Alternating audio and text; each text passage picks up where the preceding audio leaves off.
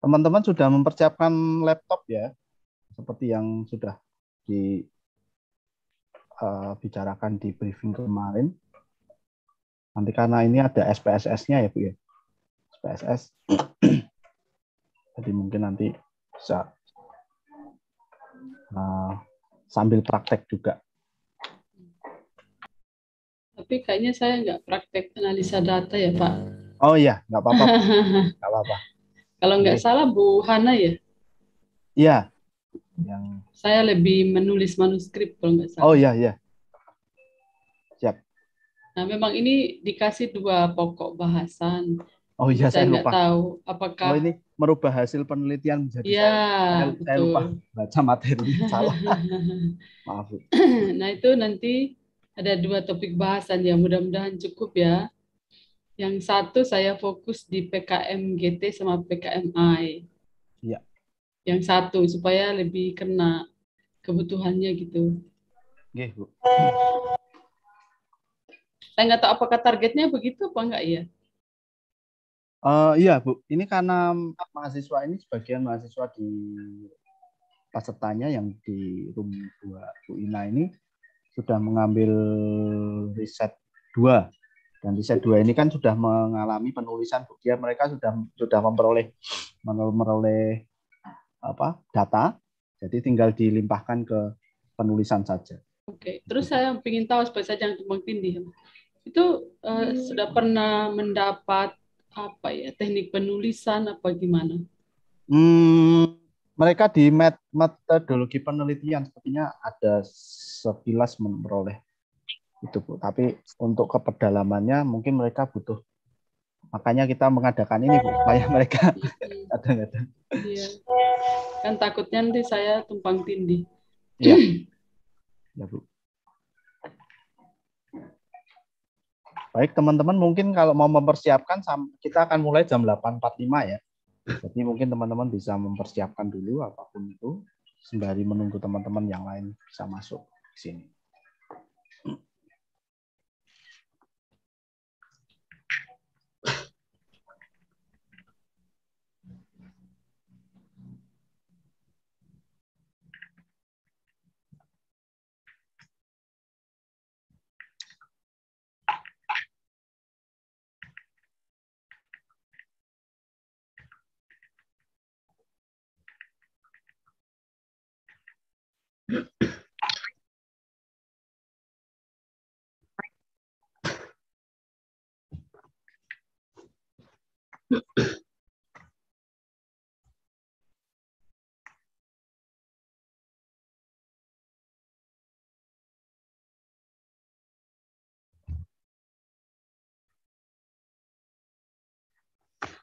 Yes.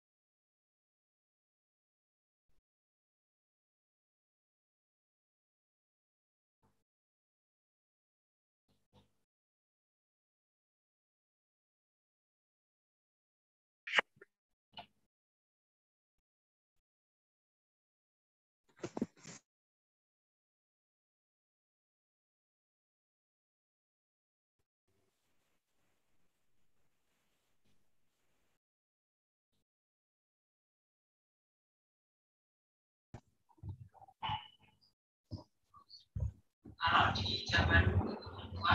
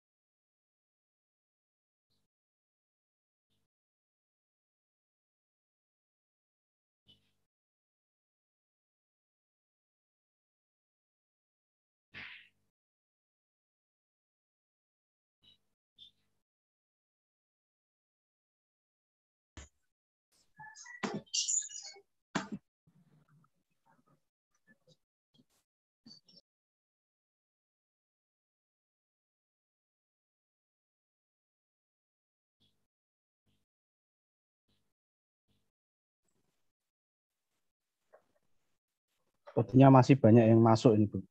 Iya. Kita tunggu aja. Ya. Hmm.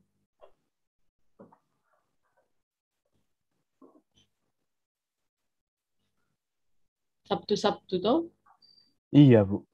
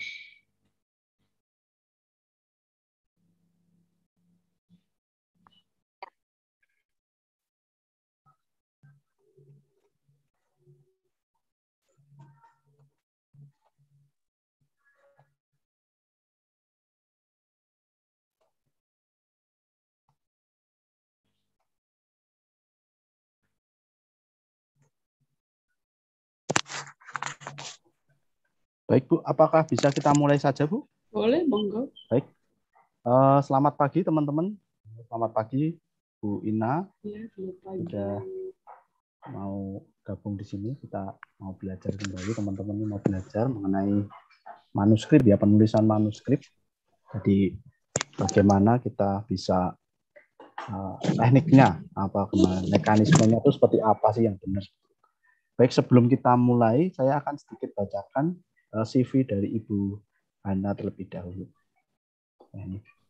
Uh, Dokter Insinyur Arianti Ina Restiana Hunga, MSI, atau lebih dikenal dengan Ibu Ina Hunga. Nah, ini seorang peneliti dan ketua di Pusat Studi Gender dan Anak Universitas Kristen Satya Wacana, PSGA, KSW Salatiga. Pendiri dan menjadi sekretaris umum Asosiasi Studi Wanita dan Gender dan Anak se-Indonesia AS atau sering disebut dengan ASWGI. Pengajar di Fakultas Ilmu Sosial KSW dan program Pasca Sarjana Studi Pembangunan UKSW untuk mata kuliahnya yang diampu terkait dengan gender dan feminis teori sosiologi, kemudian metode penelitian perspektif feminis, gender dan pembangunan berkelanjutan.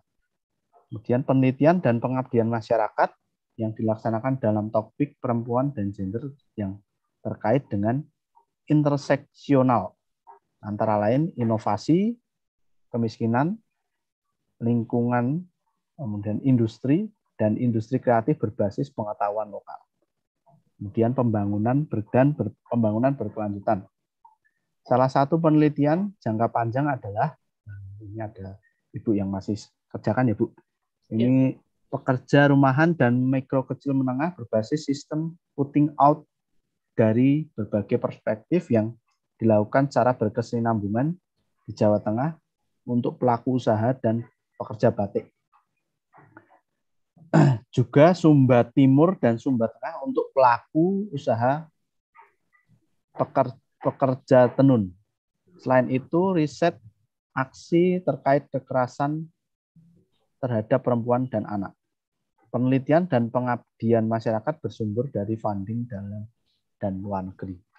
Kemudian untuk hasil penelitian yang sudah diterbitkan dalam jurnal internasional dan jurnal nasional, juga dalam beberapa buku yang ditulis sendiri bersama-sama. Ya. Jadi sudah banyak karya dari Ibu Ibu Ina ini. Selain itu menjadi editor dan eh, menulis artikel yang berkontribusi dalam tujuh buku yaitu Seri pertama, Ekofeminisme dalam Tafsir Keagamaan, Pendidikan, Ekonomi, dan Budaya. Dan review seri 2, Ekofeminisme, Narasi, Iman, Iman, Mitos, Air, dan Tanah.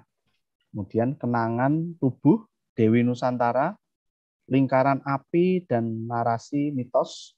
Seri 3, Studi Ekofisika, Tambang, perubahan iklim, dan memori rahim. Seri keempat, review Ecofeminism, Land, Water, and Housewarm. Segera terbit Ecofeminisme 5 dengan tema gender dan COVID-19. Buku dari hasil penelitian kekerasan dalam pacaran dengan judul Cinta dan Pengorbanan. Wah ini anak-anak anu nih pemuda uh, remaja. ABG banget, cinta dan pengorbanan. Buku-buku tersebut diterbitkan oleh PSGA UKSW bekerjasama dengan Jurnal Perempuan Indonesia, Jala Sutra Press, Parahita Press sejak 2018. Nah, sebagai pimpinan redaksi Salasika Jurnal SC atau siswa dengan SC. Nah ini eh, karya ibu ini Ibu Ina ini bisa dilihat di Scopus. Wah, ini sudah masuk Scopus. Orsit, Sinta, di Sinta juga ada teman-teman. Google Scholar, dan ResearchGate. Nah, cukup banyak ya. Sudah malang melintang cukup lama jadi dosen, pasti karya-karyanya juga luar biasa. Kalau saya masih sedikit sekali. Ya, karena umurnya juga beda, umurnya beda. Ya wajar lah. Ya, Bu. Monggo Bina uh, mungkin bisa langsung bisa share screen Bu untuk materinya. Ya, uh, ter uh, terima kasih. Yeah. Saya itu uh, membuat dua materi ya. Saya nggak tahu untuk bolak-balik materi satu, materi dua, uh, karena memang menulis itu apa ya seni sih ya. Menulis itu seni seperti orang meracik makanan. Betul. sama-sama panduannya, tapi cara menulisnya beda gitu. Oke, saya mulai. Mudah-mudahan saya ada dua ya. Pertama saya menceritakan hal yang umum. Kemudian yang kedua saya kait, kaitkan dengan PKMGT dan PKMI. Jadi PKMGT artinya uh, uh, apa namanya karya gagasan tertulis sama uh, apa namanya sama uh, artikel karena itu yang diharapkan oleh semua prodi saya pikir ya jadi saya kalau mengajar itu uh, outputnya itu bukan bukan tes, tapi outputnya adalah karya tulis. Jadi sudah lama sekali saya tidak ada tes di kelas. Tidak ada tes, apalagi milih ABC gitu, dan nggak ada ya. Tapi semuanya dalam bentuk uh, tulisan. Jadi kita memilih tulisan bisa dua ya, Eh, sesuai dengan panduan Simlitapmas, eh, sesuai panduan Kemendikbudristek sekarang namanya, itu ada berupa gagasan tertulis dan ada berupa artikel. Nah, dua-duanya disebut manuskrip ya. Manuskrip itu adalah berkas-berkas tulisan kita yang belum dipublikasikan atau masih kita siapkan. Nah, saya mulai dari hal-hal umum. Mudah-mudahan. Nah, saya mau tanya dulu, apakah ada mahasiswa di sini yang senang menulis? Coba. Raise hand. Ayo teman-teman pasti adalah dari 10 masa satu masa aja enggak, satu aja enggak ada. Ayo. ada, ada. Pasti nanti ada nanti orang tanya, "Loh, ini siapa ini? Siapa? Pak Bosko, anak-anakmu mbok pakani opo?" gitu kan gitu ya. Kalau enggak ada satupun yang uh, menulis. Ayo, jangan itu Silakan raise hand. Ada yang komen nih, Jacqueline Ana. Siapa Jacqueline yang mm -mm. yang suka nulis? Kamu sendiri atau ada rekanmu? Mm -mm. Ayo raise hand, terus coba cerita kenapa suka nulis. Ayo. Kenapa? Orang harus suka suka suka mahasiswa itu beda sama siswa apa? Mahasiswa itu beda sama siswa adalah memproduksi ide. Nah, memproduksi ide ada dua cara. Lewat kita diskusi itu baru ngomong-ngomong ya ngomong-ngomong langsung kalau ngomong-ngomong itu bisa habis di udara nggak tahu ke mana dia tuh ngomong-ngomong. Kita suka ngomong-ngomong ya kalau di kafe sampai pagi ketemu pagi bisa. Itu penting tapi yang kedua adalah nulis. Ayo resen gak usah takut. Siapakah ayo teman-teman. Jacqueline siapa? Jacqueline sendiri kayaknya ayo Jacqueline silakan cerita. Boleh. Tulisannya apa -apa. sendiri apa pacarnya apa adik eh apa kakak emang kok masa nggak ada sih satu? Nggak nggak dicopot kok. Jangan jadi pemalu iya ini nggak ada hubungan sama nilai wes lah nggak ada santai aja santai biasanya kalau orang suka nulis itu suka cerita tapi kan ya. kalian suka suka ngobrol kan suka ngobrol nah, itu dia. sama aja ya bu oke nanti saya tunjuk loh kalau nggak ada yang ngomong apa saya tunjuk Ayo, saya hitung satu sampai tiga loh ya. Ini tak tunjuk. Ayo. Ada Bu, ini ada malah ada ada ada Sri. Ah, Sri. Ayo Sri. Mari. Pagi-pagi udah sarapan tuh seger. Ya, monggo. Uh, suka ditulis karena bisa menuangkan isi pikiran biasanya kayak gitu kayak di buku harian seperti itu apa yang sudah dilakuin seperti itu keren keren sekali itu eh, kalau menulis oke saya mau tanya uh, itu menulis buku harian udah bagus sekali itu adalah modal modal banget nah kalau di bahasa penelitian kita sebut dengan lookbook eh sorry logbook ya logbook penelitian itu perlu punya catatan harian ditulis Oke, maju lagi Sri. Kalau selain menulis tadi catatan harian, pernah nggak menulis di blog? Pernah Bu, dulu waktu SMA. Oke, sekarang kok nggak pernah, nggak dilanjutin? Iya, nggak dilanjutin, Bu. Kenapa? Eh, lebih fokus ke kuliah, Bu. Oh, kan malah harta bendanya lebih banyak kalau kuliah dibandingkan SMA. Ya Eh, kan? Iya, benar, Bu. Mm-mm. Kenapa nggak ditulis? Nanti dilanjutin lagi, Bu. Oke, siap. Nanti dilanjutin lagi. Berikut lagi, pernah nggak mencoba menulis artikel?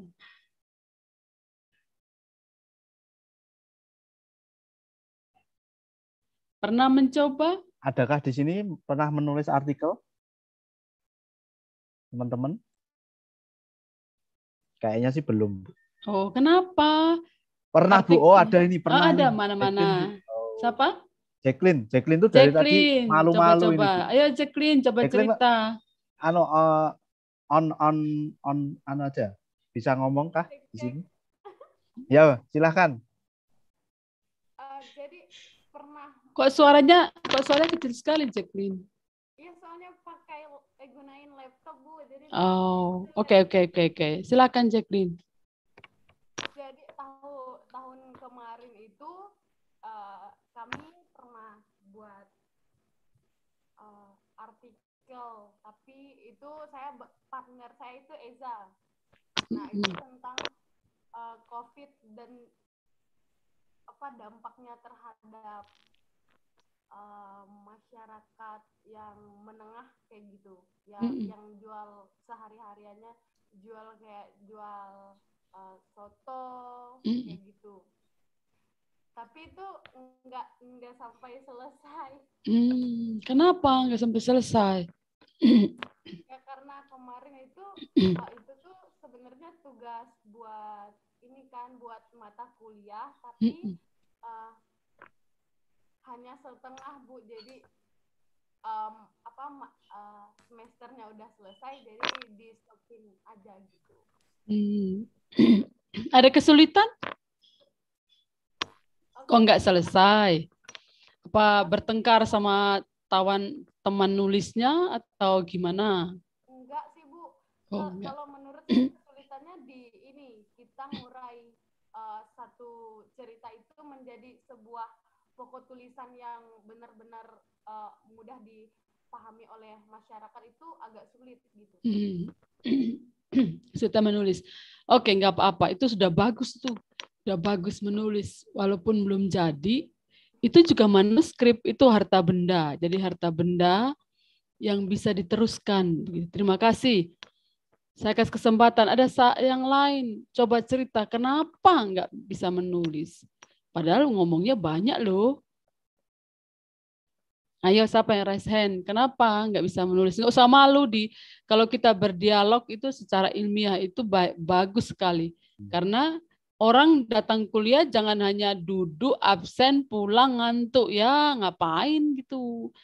Karena produksi pengetahuan itu hanya ada lewat forum-forum seperti ini di kelas dan di ruang seperti ini. Jadi bedanya siswa dan mahasiswa adalah mahasiswa adalah aktif memproduksi ide. Baik itu ide yang sifatnya hari-hari atau ide yang kaitannya dengan keilmuan gitu. Jadi nggak usah takut salah karena senantiasa hakikatnya mahasiswa itu adalah berusaha setiap hari produksi ide. Oke, sekarang saya mau tanya yang belum tadi. Tadi kan sudah ada pengalaman dari yang sudah mencoba ya, bagus sekali. Saya pikir itu adalah awal yang baik sekali. Nah, sekarang yang belum pernah, kenapa gitu? Padahal mungkin kalau disuruh tulis WA ya, apalagi untuk pacarnya, wah berlembar-lembar. Mesti gini. Ayo, Kisti, saya mau tanya, Kisti, gimana kamu kok nggak bisa nulis? Kenapa? Halo Kisti, apakah Kisti ada di situ? Halo Kisti. Wah, ini Kisti GG malah turu ini. Ngomong akun netok. Aku netok sing In- on. Ini Pak pada yang har- ya raise hand tuh pengen Ah, ngomong atau gimana Bagus ini? sekali. Ini ada Alwin, ada Oh, Dimas, iya, tadi ada satu cewek tadi siapa ya? Hmm. Mari, mari, mari. Ayo, Alwin, Alwin dulu. dulu. Alwin dulu Bu, Alwin. Ini. Monggo, Saya Alwin. tadi lihat dulu. Alwin kenapa Alwin? Alwin. Halo Pak, Halo, ya Ya, silakan. monggo.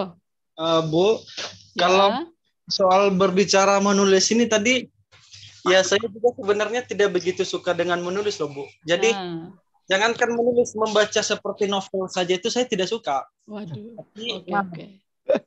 Nggak apa-apa, Alvin. Mungkin bisa bercerita ya. Itu bagus sekali. Orang terus terang itu susah loh. Nah, Ya. kita mau tahu dari Alvin, kenapa Alvin nggak suka? Soalnya kalau saya jadi eh, dimulai dari menulis saja itu sepertinya kalau menulis saja kayak membuat kepala pusing Bu. Soalnya Oke. yang ditulis hanya huruf saja semuanya. Iya, Jadi kalau betul. ada gambarnya itu saya sepertinya tidak bisa. Tapi Oh. kalau nah sama seperti novel juga nggak ada gambarnya saya tidak tertarik sama Mm-mm. sekali. Itu mengapa saya tidak tidak suka menulis. Nah, Mm, oh. kalau seperti menulis seperti puisi nah saya suka. Saya bisa. Ah, itu bagus sekali, Alvin. Itu bagus banget. Kamu bisa, kalau sudah suka puisi, itu adalah modal besar. Jadi tulisanmu itu bisa masuk ke ulu hati loh, Alvin. Betul itu. Nanti menulis ilmiah itu tidak harus uh, kering-kering begitu, tapi bisa juga dengan bahasa-bahasa. Saya, saya paling suka kalau membuat judul tulisan saya itu sangat puitis.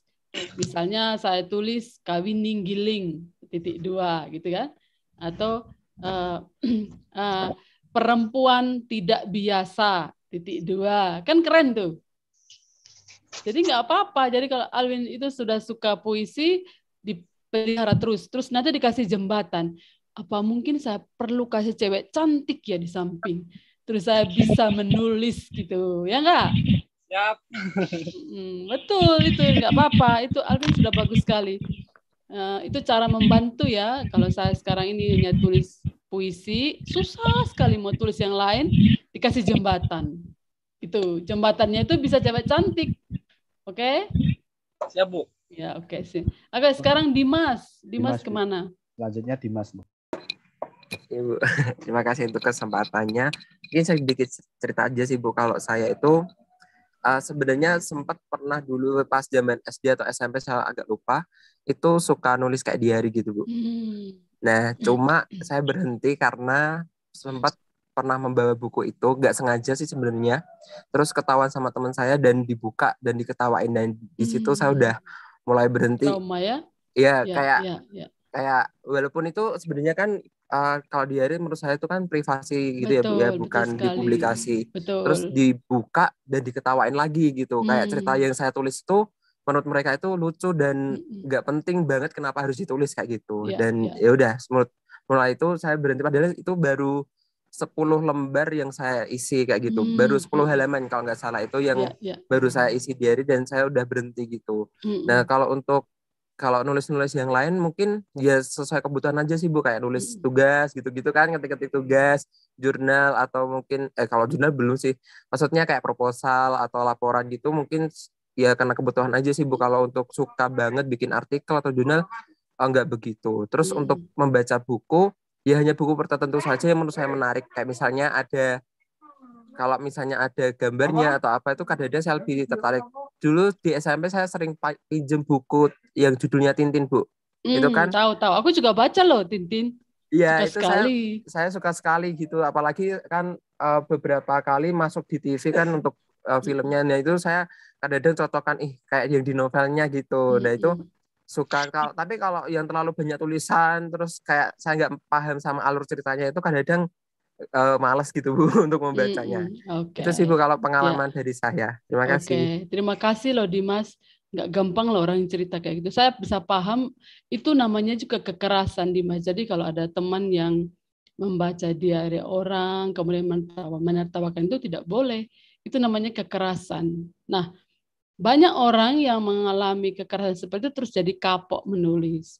Tapi eh, Dimas eh, harus pakai itu sebagai kekuatan. Jadi menulis diary itu nggak gampang. Orang tahu kehidupan kita itu nggak apa-apa, nggak apa-apa sama sekali karena eh, kita belajar dari di situ. Kalaupun dia tertawa nggak masalah gitu.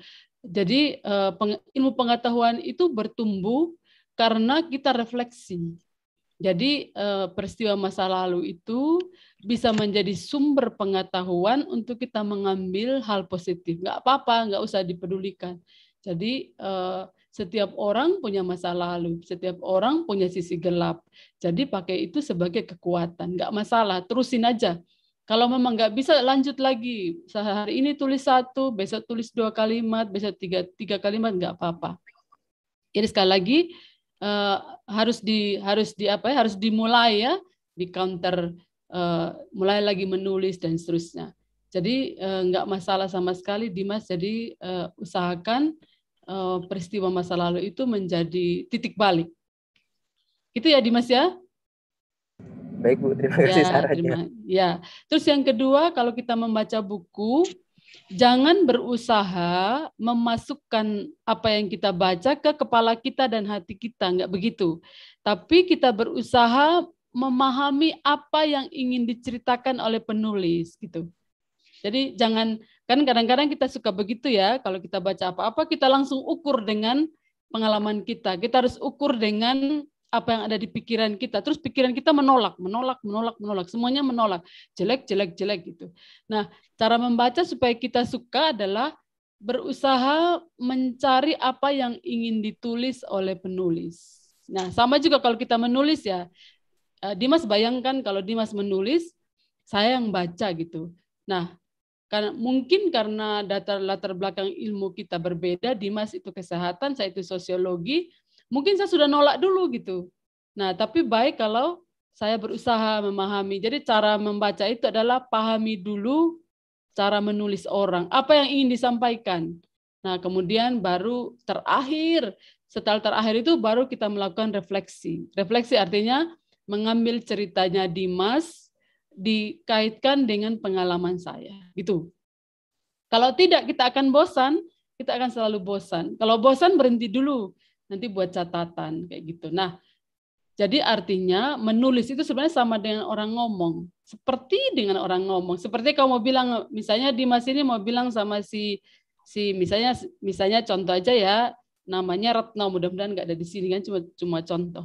Misalnya Dimas itu mau menyatakan cinta ke Retno gitu ya. Nah, ada orang yang sangat lugas ngomong cinta gitu ya, sangat lugas.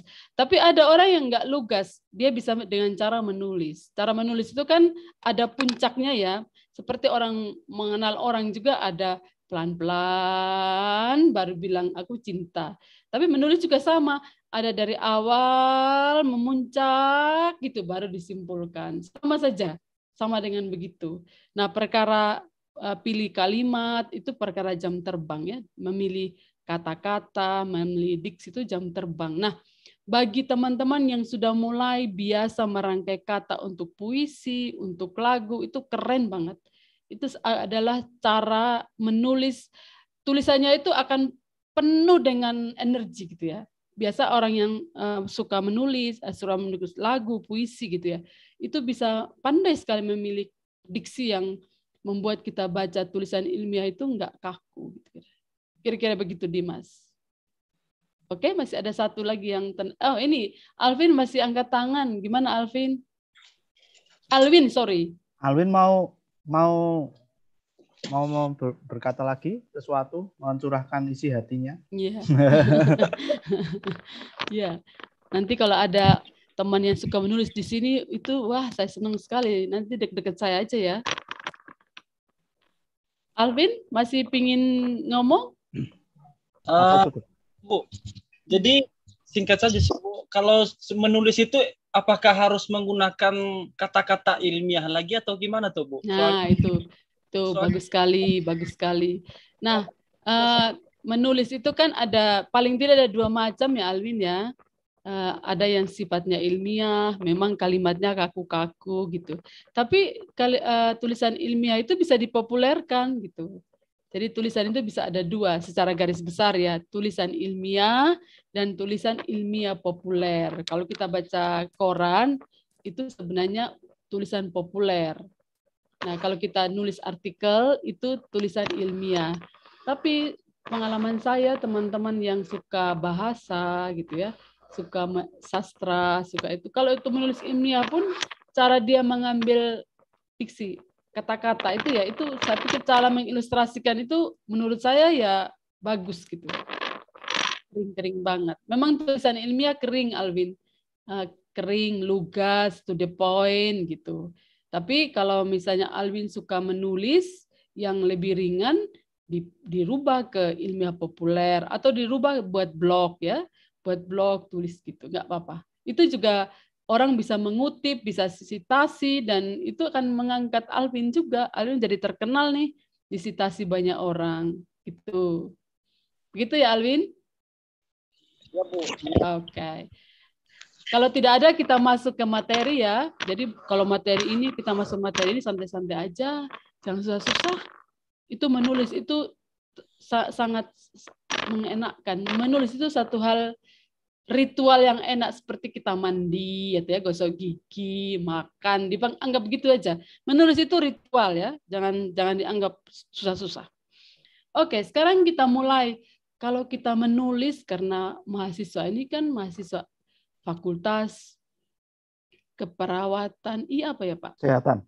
Ke, eh, ada fakult... keperawatan, PJKR, teknologi pangan sama gizi. Aduh banyak banget. Udah pokoknya pokoknya itu ini adalah juga uh, gerbong ya, gerbong atau rumah atau prodi ilmiah yang atas nama belajar kesehatan apalagi kedokteran, kebidanan dan bla bla bla. Jadi cara mahasiswa menyatakan diri atau cara mahasiswa belajar untuk dapat SIM nanti sebagai mahasiswa FKIK adalah yang mau tidak mau melalui tahapan-tahapan belajar ilmu dari keperawatan. Jadi misalnya nih eh, kalau si Jacqueline gitu datang di FIK kan pasti bawa kalau kalau bawa ember bilanglah ember ya. Bawa tuh ember wah pak bosku aku nih ke sini bawa ember mau menuhin mau menuhin pengetahuan saya tentang keperawatan. Taruh di situ. Nah ada mata kuliah satu masuk masuk masuk gitu. Ya jangan sampai penuh dong. Baru baru satu senti ya ditulis supaya tahu. Nanti kalau ditambah lagi ke atas mendelep yang ibu di bawah. Ditambah lagi kalau itu meternya jadi 10 meter, ya setiap meter itu harus ada refleksinya dalam bentuk tulisan. Oke, apa yang kita belajar kalau begitu untuk bisa menulis? nah, dalam semua mata kuliah pasti pakai kerangka ini. Bukan hanya ya, bukan hanya buat skripsi ada hipotesa. Kalau kita belajar satu mata Pak Basko mata kuliah apa ya kira-kira ya diberi contoh? Mata kuliah apa? Uh, mata kuliah apa ya Bu? Kalau saya kan dari tek, dari dari teknologi pangan ya mata nah boleh teknologi pangan. Nah, salah satu saya, aja. Mata kuliahnya uh, apa? Uh, tek, uh, pengemasan pangan misalnya. nah pengemasan pangan. Pengemasan. jadi Pak Bosko bilang gini, mahasiswa semua semester ini kita belajar pengemasan pangan. Itu mata kuliah loh ya, bukan ya. penelitian. Nah, waktu kita masuk ke kamar belajar pengemasan pangan, kan harapannya nanti buat pengemasan pangan beneran gitu. Walaupun belum penelitian, tapi loh, apa alatnya gitu. Nah, dalam mata kuliah Pak Bosko ini udah belajar tentang teori Teori itu dari mana? Dari buku-buku. Nah, Pak Bosko buat silabusnya sampai 14 kali mungkin. Eh, teori satu, teori dua, teori tiga, teori empat, teori lima, sampai teori berapa. Nah, Pak Bosko membuat grouping ini teori. Pada teori ini kita ngomong tentang pangan. Ini dasar loh ya. gitu. Terus yang kedua, pangannya jadi. Ketiga, ternyata orang itu kalau pangan nggak dikemas itu nggak mau beli. Gitu gitu gitu ya. Nah Pak Bosko bawa dengan macam-macam literatur. Kata si A kata si B kata si C gitu. Nah terus teman-teman kan bingung. Ah itu di mana toh Pak? Oh ah, di Amerika. Datang lagi teori B. A, B itu di mana Pak? Di Papua. Datang lagi. Pak ini teori dari mana lagi nih? Pusing. Oh dari Inggris Nah, supaya tidak pusing, teman-teman turun ke bawah. Nah, turun ke bawah ini pengalaman nyata.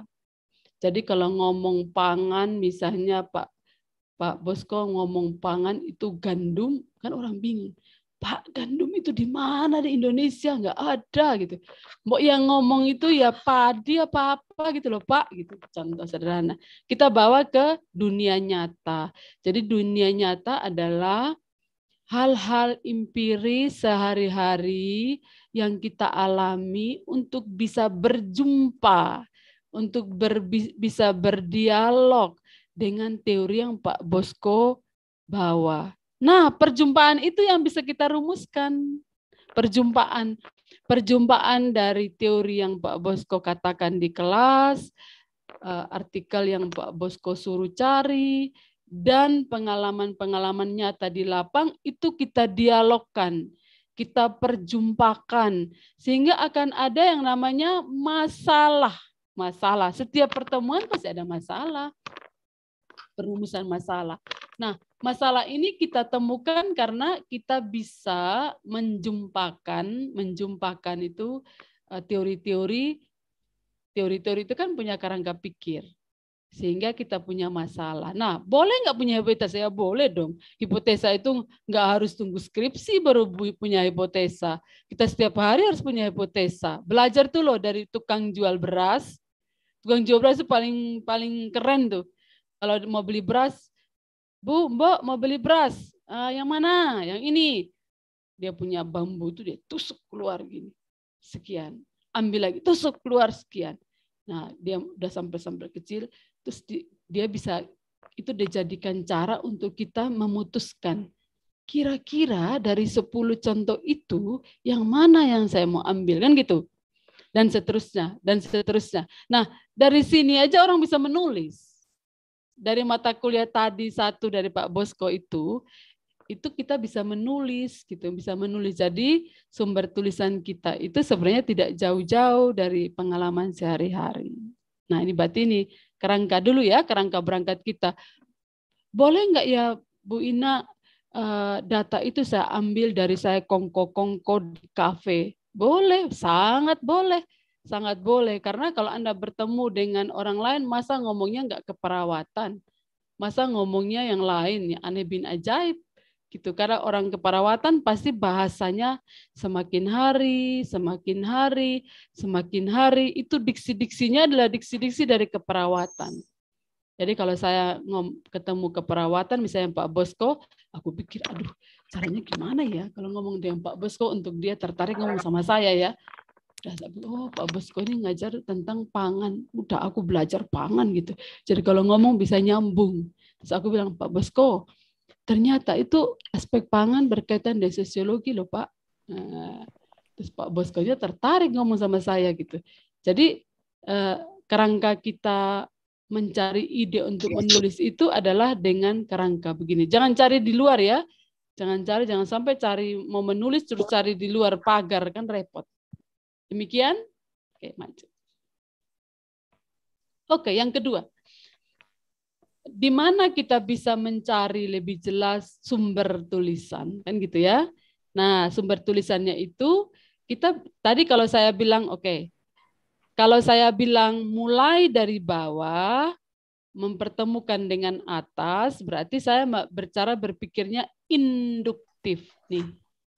Ya induktif. Kalau saya berpikir tentang dari atas, membuktikan itu caranya deduktif. Di sini artinya mempertemukan, mendialogkan apa yang dari bawah terus ke atas itu namanya induktif. Kalau dari atas ke bawah itu namanya deduktif. Ini cara menulis juga. Jadi ada dua cara orang menulis, yaitu cara deduktif atau cara induktif. Jadi kelihatan banget ya kalau orang menulis deduktif itu kelihatan banget. Kata ini, kata itu, kata ini, kata itu, uh, jadinya begitu. Kalau yang proses induktif itu biasanya bercerita tentang pengalaman di, di lapang. Seperti tadi saya buka diskusi sama Alvin, sama Dimas, itu adalah cara berpikir ini. Oke, maju lagi. Nah, kalau kita belajar metodologi, eh, teman-teman pasti sudah belajar metodologi ya, saya nggak perlu saya nggak perlu ulang. Nah, ini adalah eh, sumber-sumber uh, kita menulis. Misalnya, halo, apakah Rambu Halo? lagi. Eh, Halo. tolong host matiin ini ya, yang di unmute ya. Julita sama ya. Oke, kita gantian nanti ngomong ya. Nah, kalau kita mau mau belajar menulis, pertama sekali kita mulai dari apa eh, yang juga diberikan dalam mat- mata kuliah metodologi. Contoh, bisa nggak ya proposal saya saya menulis? Bisa. Pendahuluan itu bisa jadi satu paper. Pendahuluan ya. Jadi kalau eh, ada tugas, halo, kok mental ya suaranya? ya? Halo, halo, halo. Halo, mental. Kenapa mental ya tulisannya? Eh, suaranya ada double. Saya masih aman kok, Bu. Halo, Halo. halo. Tes, tes. Oh, Tes, udah. aman, masih aman, Bu. Nyaman. Nah, kalau kita menulis proposal, misalnya, tadi kan saya mulai dari, mata kuliah Pak Bosko, ya kan? Nah, kalau kita eh, dari kuliah, kita juga bisa menulis paper dengan cara seperti tadi ya, cara seperti tadi. Tapi kita belum menulis. Cara menulis kita adalah bukan artikel ilmiah, tapi gagasan tertulis. Itu boleh. Nah, kalau kita sudah mendapat metodologi penelitian, kita bisa mengambil sumber itu dari proposal kita. Misalnya, kalau teman-teman menulis tentang, oke, saya mau tanya dulu, apakah ada yang sudah ngambil proposal di sini? Halo? Raise hand. Halo, teman-teman. Halo? Baru ambil semester Oke, ini, coba. Coba cerita, coba tulis di room chat itu judul proposalmu. Di room chat ya. Tol- Tolong masih ingatnya. Judul proposalmu apa toh? Frando, silakan judul penelitiannya apa? Apa? Ditulis. Eh, Bu, ini karena saya belum ke- pertemuan sama Dosbing jadi belum eh, belum ada judul yang fix, Bu. Wah, iki piye toh? Cara proposalan di judul. Iki Frando kayak ngekek betul ini. Kira genah iki Frando. ya mau mau buat proposal ya judulnya seono toh yo. Oke, sekarang saya balik. Frando pingin teliti apa? Nggak usah perhatikan dosen pembimbingnya. Udah sekarang nanti kalau dosen pembimbingnya tanya, Frando menulis apa? Kamu nggak bisa menulis judul. Frando pingin penelitian apa? Oke, baik. Bu. Eh, saya ingin eh, meneliti terkait penyakit DM, Bu. penyakit DM. Oke, penyakit DM ya apa? Aku saya sosiologi nggak mudeng apa apa itu DM? Diabetes, diabetes Iya. mellitus. Oke, diabetes mellitus. Aku mau tanya dulu. Kenapa kenapa Frando mau menulis diabetes mellitus? Atau senang menulis itu? Iya, Bu. Jadi eh, DM itu di eh, tempat saya itu banyak yang kena gitu, Bu. Makanya lebih tertarik untuk meneliti terkait itu. Tempat itu di mana?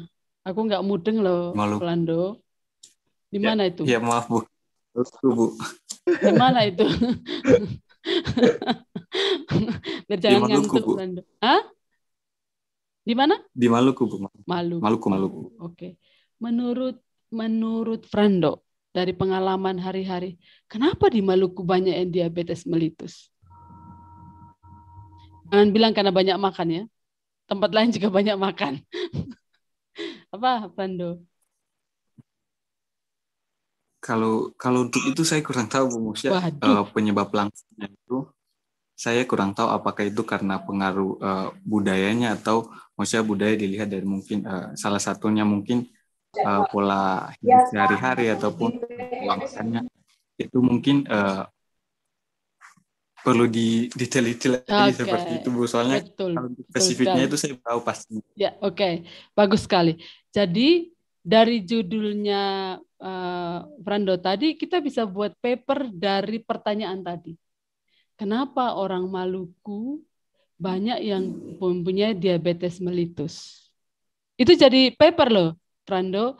Jadi dari latar dari proposal latar belakang yang akan Frando buat itu bisa menjadi eh, satu paper. Jadi intinya adalah Frando mencari berbagai sumber tulisan dan mencoba merumuskan pertanyaan tadi.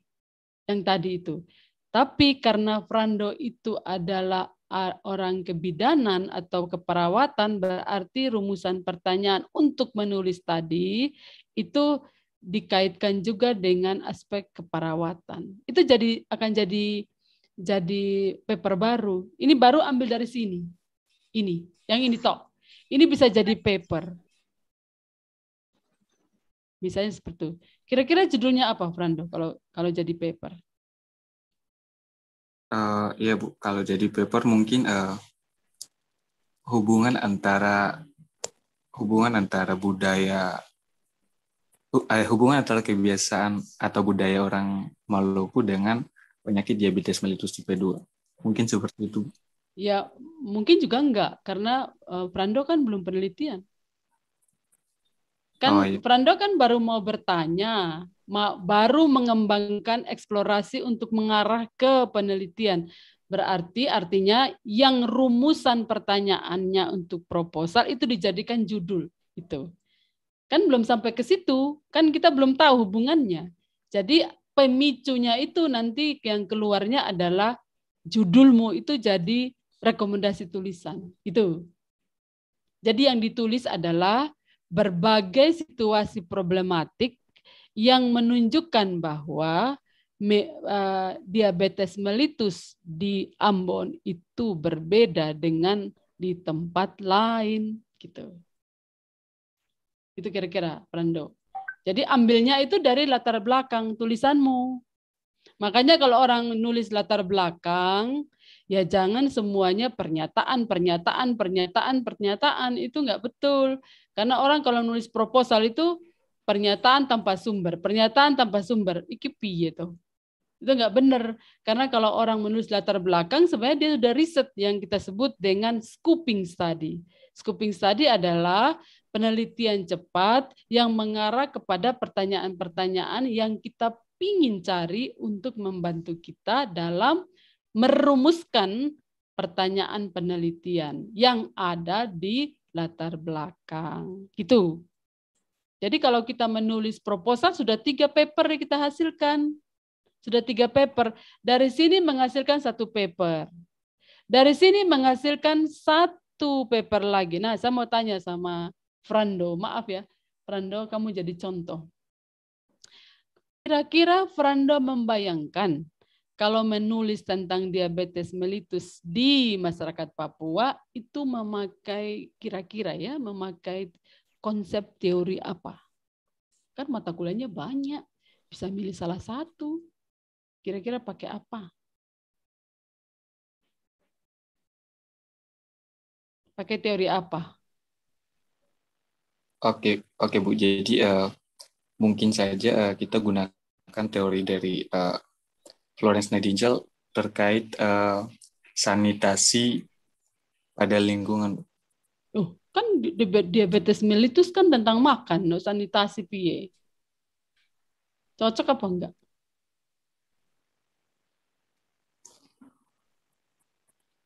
Atau betul ini Pak Bosko? Sanita kan ini tentang diabetes mellitus kan tentang makan, betul enggak atau kesalah? Ya, Rando. Survei apa kualitatif apa? Kalau diabetes mellitus itu kaitan sama makan, pola makan, betul ya, Rando ya? Apa yang dimakan iya, gitu. Ya, jangan kau ngambil teori sanitasi, ya sanitasi itu luas iya, gitu. Frando tak duduk loh.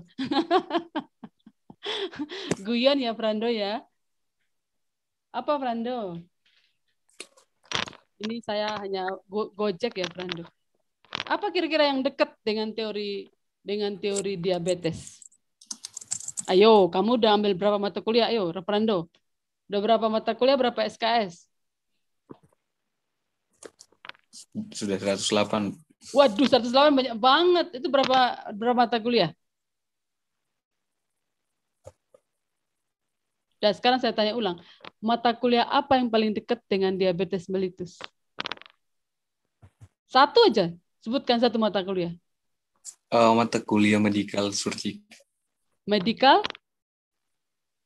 Medical surgery. Medical surgical, Bu. Oke, sekarang saya mau tanya satu aja teori dari itu, nggak usah banyak-banyak. Satu aja teori.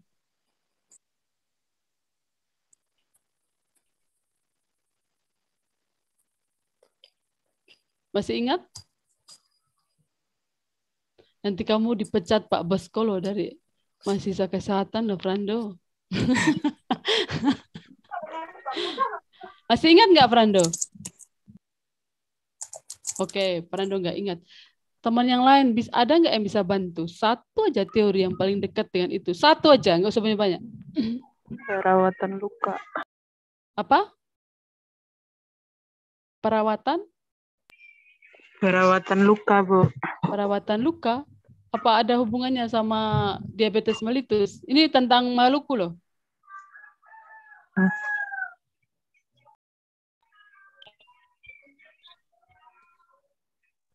Oke, saya pindah. Pak Bosko, ada nggak eh, di mata kuliahnya Pak Bosko yang dekat dengan itu, Pak? Satu teori aja. Saya itu dari teknologi pangan ya, Bu. Nah, iya, mungkin mungkin apa mungkin ya, Bu? Ke, arah Gizi ya, Bu. Arahnya mungkin ya gizi mungkin ya, Bu ya. ya, ya coba Ilmu salah gizi. satu aja. Ya itu ma- mata kuliah evaluasi nilai gizi biasanya. Yang Nah, arahnya mungkin itu. ada satu satu teori Pak apa? Satu pemikiran. Eh, mungkin Pak eh, kemarin kalau gizi itu kan oh sorry Bu, ada mata kuliah satu pangan fungsional.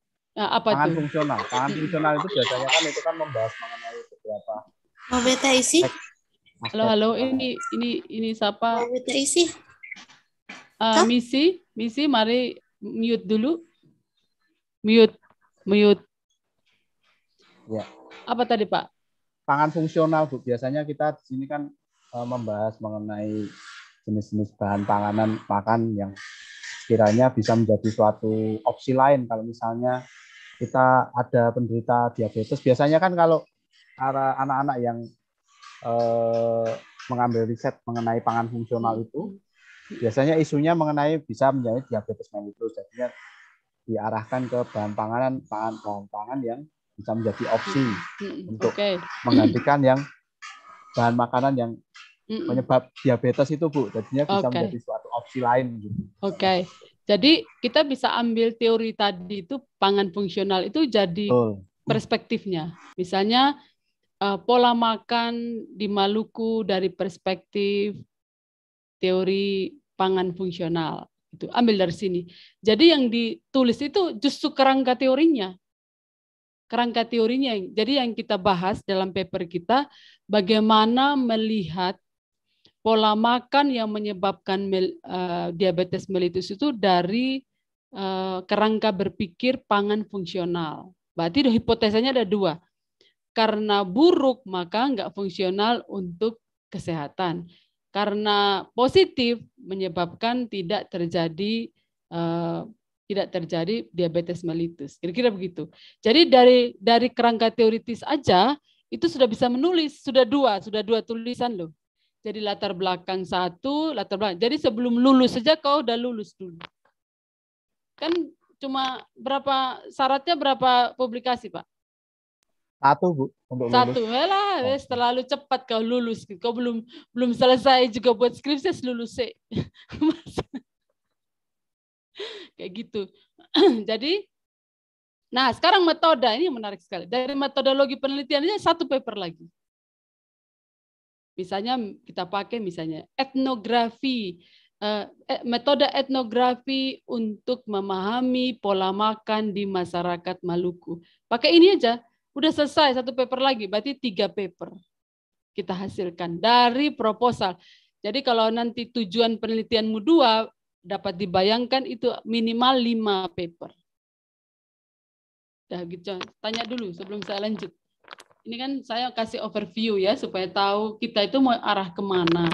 Jadi artinya mahasiswa kalau mau nulis terlalu menurut saya asal mau aja itu terlalu banyak cara menulis gitu. Dari mata kuliah aja saya nulis. Apalagi dari proposal penelitian. Nah, lebih dahsyat lagi dari skripsinya. Nah, sekarang pertanyaan dulu sambil aku minum kopi gitu. Mari. Monggo mahasiswa itu. Mari. Ada yang mau ditanyakan teman-teman mungkin atau mau berpendapat?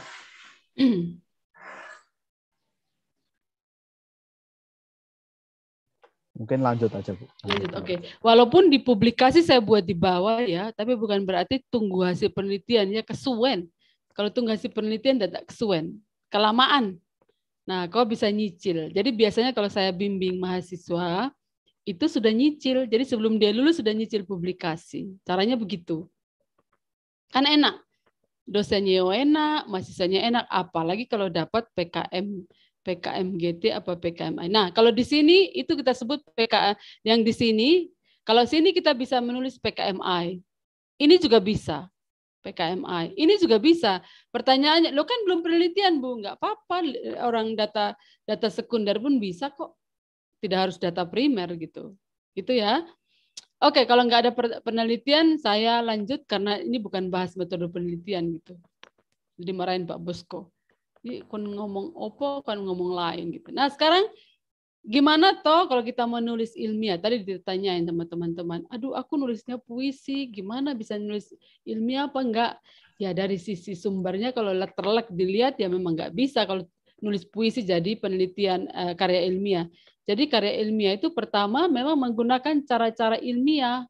Misalnya tadi membuat latar proposal itu kan mesti sudah melakukan penelitian yang kita sebut dengan scoping study, yaitu meneliti seberapa jauh hutan pengetahuan tentang diabetes mellitus, baik dari data-data empiris, hutan pengetahuan teori, maupun hutan pengetahuan metoda. Gitu. Jadi itu penelitian. Nanti kalau saya ada waktu lain kali, saya bisa kasih tunjuk caranya gimana untuk bisa menulis itu. Karena harus datanya dikumpulin. Yang kedua, menggunakan teknik penulisan ilmiah. Jadi kalau menulis di jurnal ada yang namanya template atau selingkung dari jurnal itu. Jadi harus digunakan kalau menulis eh, manuskrip biasa yang belum dipublikasi kalau di FKIK kan pasti punya panduan, ya diikuti. Kemudian yang kedua, memenuhi syarat pemilihan topik yang baik gitu. Jadi kalau topiknya itu topik judul puisi ya mungkin nggak Pak Bosko nggak boleh gitu. Karena ini bukan bukan fakultas sastra di sini dan sastra bagaimana menulis puisi tidak ngono gitu. Tapi dalam bentuk tulisan ilmiah. Nah, berikutnya menggunakan bahasa ilmiah. Bahasa ilmiah itu ya memang bahasanya kaku ya, kaku, berjarak gitu, nggak enak itu. Nah, yang kedua, eh, ciri-ciri karya ilmiah itu pertama harus ada data, nggak bisa eh, semalam mimpi besok semalam mimpi terus besok bisa nulis nggak bisa harus ada data. Harus ada nalarnya. Tadi kan saya bilang ya nalar, nalar nalarnya harus mana? Bisa nalar deduktif, bisa nalar induktif. Tergantung cara memilih.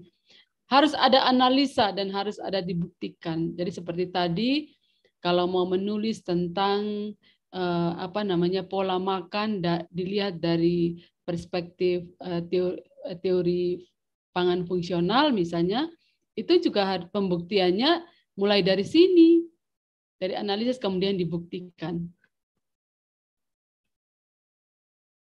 Nanti kasih tahu saya kalau terlalu sudah lewat ya Pak. Nah cara-cara melakukan cara-cara ilmiah caranya apa? Pertama observasi. Tadi yang saya tunjukkan uh, harus mulai mendialogkan fakta empiris dengan uh, teori. Itu caranya bisa bisa observasi, bisa studi uh, kepustakaan, bisa melakukan penelitian, tentunya ini dengan mengenai analisis data. Jadi artinya menulis itu tidak harus penelitian data primer, tapi bisa dengan cara mengambil data sekunder. Boleh nggak? Boleh dong. Apalagi kalau kita penelitian kan harus ada aspek kebaruan. Memangnya siapa siapa yang sudah menulis tentang diabetes mellitus di di uh, Maluku? Kita harus cari karena itu adanya yang disebut dengan hutan pengetahuan. Nah, gap-gap itu itu yang menjadi original penelitian kita. Nah, tapi sayang disayang, saya nggak tahu tren apa yang terjadi dengan dosen kita. Aku nggak mudeng. Kalau mahasiswa menulis skripsi nggak pernah tanya apa yang baru wes nulis wae, wes penelitian wae gitu. Aku juga mu, aku juga mumet gitu. Padahal zaman saya penelitian itu kalau nggak berjentrek-jentrek buku yang dibaca, artikel yang dibaca nggak disetujui. Kalau sekarang nggak mau tutup mata jadi. Mudah-mudahan aku salah ya Pak Bosko ya. Masih nggak pada ditanya. Nanti aja Bu, kalau sudah S2 ditanya. Enggak, harusnya tetap harus ditanya. Apa originalitas? Apa yang baru dengan diabetes mellitus di Maluku? Harusnya begitu. Nah, tapi sayangnya itu enggak di tradisi ini enggak dilakukan. Aku ya sedih. Ya secara popo. Enggak apa-apa. Nanti mahasiswa jangan belajar dengan yang enggak begitu ya. Usahakan uh, tetap mencari kebaruan karena itu menjadi penting itu yang menjadi seksi untuk kita menulis. Nah, sekarang ini paling ini yang paling sakit kepala ya kalau mahasiswa menulis menggunakan bahasa ilmiah ini ini paling aduh. Saya kalau pertama membaca proposal mahasiswa itu uh, sampai baca kata-kata eja kata-kata. Kasih contoh. Pertama ya kalimat lugas bukan ulas ya kalimat lugas dan utuh seperti ini. Tak contoh. Nah, coba kita baca ini seperti apa nih? Aduh sakit kepala. Ada orang kok tulisan mulai dari atas bawah yang koma koma koma koma koma sampai di bawah kita mati. Jadi satu kalimat itu mau separuh halaman sendiri. Jadi kalau kita menulis ya bantu dong dosennya mesake. Jadi harus harus uh, harus berusaha membuat kalimat itu yang lugas. Saya pindah lagi ke sini. Kembali dulu ya. Ini nggak main ini itunya. Sabar. Nah ini.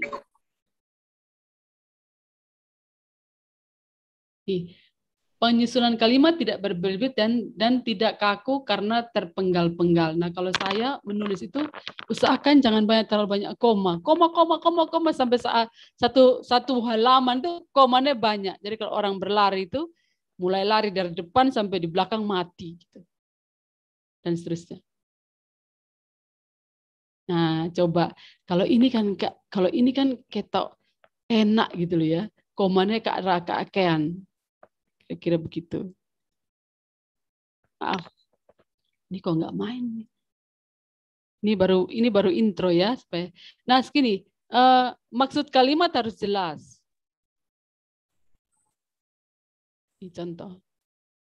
Pada lahan sawah tada hujan di Kabupaten Semarang merupakan lahan yang potensial diusahakan untuk komunitas tanaman pangan dengan lahan dari berbagai jenis karakteristik lahan yang ada. Titik. Nah, eh, kita rasa-rasakan ini kalimat jelas apa enggak gitu.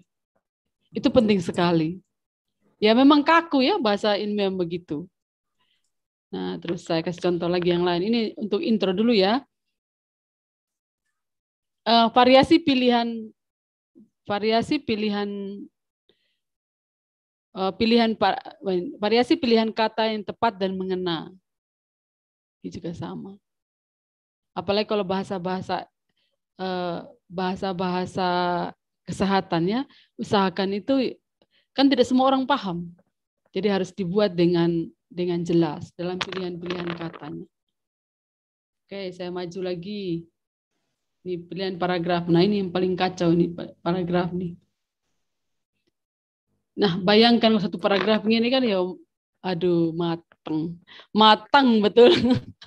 ini mana, mana yang ide utamanya, mana yang pendukung sakit kepala, gitu ya. Jadi menulis itu juga kita bayangkan kita cerita. Jadi kalau saya cerita orang mengerti gitu. Jangan sampai satu paragraf sealaman dewi itu juga nggak boleh. Jadi kalau Pak Pak Bosko kalau ada pelajaran bahasa Indonesia itu ya jangan belajar bahasa Indonesia kayak piye sudah pintar bahasa Indonesia mbok ya penulisan gitu loh. Mas biar dosennya bisa terbantukan eh, yang sampah-sampah itu sudah dibersihkan sebelumnya. Jadi lebih pada penulisan karya ilmiah. Ada ya bahasa Indonesia ya Pak ya? Ada Bu, semester awal. Hmm, Dan, terus, uh, mahasiswa baru satu. nah, nanti cuma diajarin menulis bahasa Indo menulis kalimat ya Allah saya pikir kapiye dimasukkan ya Pak Kemudian keruntutan pikiran ini contoh aja Kalau saya nggak kasih contoh dari ilmu keperawatan, maklum ya kan aku bukan keperawatan. Nah ini contoh juga ya. Maju lagi. Nah, ini yang paling ngeri sesuai ejaan. Maklum ya, kadang-kadang itu kita bahasa kampung, kita bahasa dari kampungku misalnya bisa-bisa bawa ke tulisan. Sapi main bola gitu kan repot. Itu nggak boleh ya. Jadi kadang-kadang seperti saya di bahasa di kampung saya itu kan eh, suka motong-motong kalimat ya. Jadi kadang-kadang suka terbawa dalam penulisan. Itu juga nggak boleh ada. Berikutnya lagi, Nah, ini pilihan kata. Ya. Pilihan kata itu seperti ini ya contoh. Cara menulis di mana. Kadang-kadang orang suka nyambung, orang suka putus kayak gitu ya. Cara menulis uh, bahasa Inggris, kalau kita tulisan bahasa Indonesia itu harus dimiringkan itu. Nah, itu semua harus sudah beres di dalam tata tulis. Jangan sampai terbawa pada dosen yang pada dosen yang bimbing proposal. Waduh, bisa keriting-keriting kita gitu. Mas itu harus diselesaikan. Jadi saya eh, selalu titip pesan ya buat Prodi. Mau ia mata kuliah bahasa Indonesia itu ya diarahkan untuk penulisan ilmiah kan jauh lebih bagus ya. Jadi nggak usah keakean pola menulis apa gitu nggak ngerti. Maaf ya Pak, ini memang aku suka begitu Pak ngomong Aman, apa Bu, adanya. Aman, aman. saya juga sama Bu kalau ngoreksi proposal itu ya kadang-kadang kata-kata tuh ya. Gitu. Jadi, Nah, terus syarat pemilihan topik yang baik. Nah, ini contoh ya. Ya itu ya aktual dong. Misalnya gini, kan orang sudah banyak sekali yang menulis diabetes mellitus. Apa yang membuat keren gitu? Orang lihat tulis judulnya aja langsung kayak gitu. Langsung ter, aku pingin baca nih. Gitu kira-kira. Nah, kemudian ya original, jangan sampai tulis uh, tentang diabetes mellitus itu literatur sudah sudah 20 tahun yang lalu gitu. Wah, susah. Terus kemudian kalau bisa ada problem solving. Problem solving itu bukan berarti kita yang melakukannya, tapi ide-ide yang memberikan uh, ide untuk orang lain untuk problem solving. Kemudian based on expertise. Jadi misalnya begini, masa aku nulis tentang kesehatan reproduksi, eh, saya menulis tentang keperawatan, orang sedunia tertawa. Karena bukan expertise saya, bukan keahlian saya. Jadi kalau kita menulis, pakailah kompetensi. Kalau tadi mahasiswa eh, keperawatan kan sudah punya mata kuliah yang banyak sekali. Nah, jadi kita bisa ganti-ganti. Misalnya saya kalau mengajar eh, teori sosiologi klasik, kemudian saya topik risetnya tentang batik. Saya bisa menulis banyak banyak hal tentang itu mulai dari teori A, B, C, D, E, E. Itu saya bisa coba-coba. Kalau batik saya lihat dari teori A, teori B, teori C, teori D, nggak apa-apa, nggak nggak nggak pas. Justru karena nggak pas itu menjadi cara kita menulis lagi gitu. Yang seterusnya. Oke. Nah sekarang teknik menulis saya nggak perlu nggak perlu masuk, itu bukan area saya. Saya hanya mau fokus nanti ke PKMGT dan PKMI. Tapi yang saya mau bilang adalah mau tulisanmu bagus sa apa pun kalau tidak sesuai dengan teknik penulisan yang diminta oleh artikel nggak bakalan diterima. Jadi kalau mau masukkan di jurnal X ya harus ikut jurnal X. Kalau mau di jurnal Y harus harus ikut gitu. Jadi kalau orang mintanya sate, jangan kamu kasih soto gitu. Kira-kira begitu ya Jasrana. Nah, supaya bisa diterima caranya sangat mudah. Menurut saya ini pengalaman saya. Kalau saya pingin goal di jurnal itu saya pingin banget itu download sampel. Jadi download sampel dari jurnal itu uh, di print, taruh di meja, dipelajari satu-satu. Gimana kalau menurut abstrak yang diinginkan? Kasih kata kunci. Latar belakang, kasih kata kunci. Terus saja ikut aja. Ikut aja cara menulisnya. Nanti mesti lolos. Karena saya sudah mempraktekkan. Kayak gitu. Jadi nggak usah pola, nggak karu-karuan Jangan merasa, oh tulisanku bagus, kau mau bagus kayak mana pun nggak ikut nggak bisa. Karena setiap jurnal punya selingkungnya sendiri-sendiri. Sama juga kalau mau penelitian sama saya gitu ya. Jadi kalau kau, saya masih tidak mau membimbing mahasiswa yang di luar topik saya. Jadi kalau nyeleneh karena aku nggak tahu A sampai Z.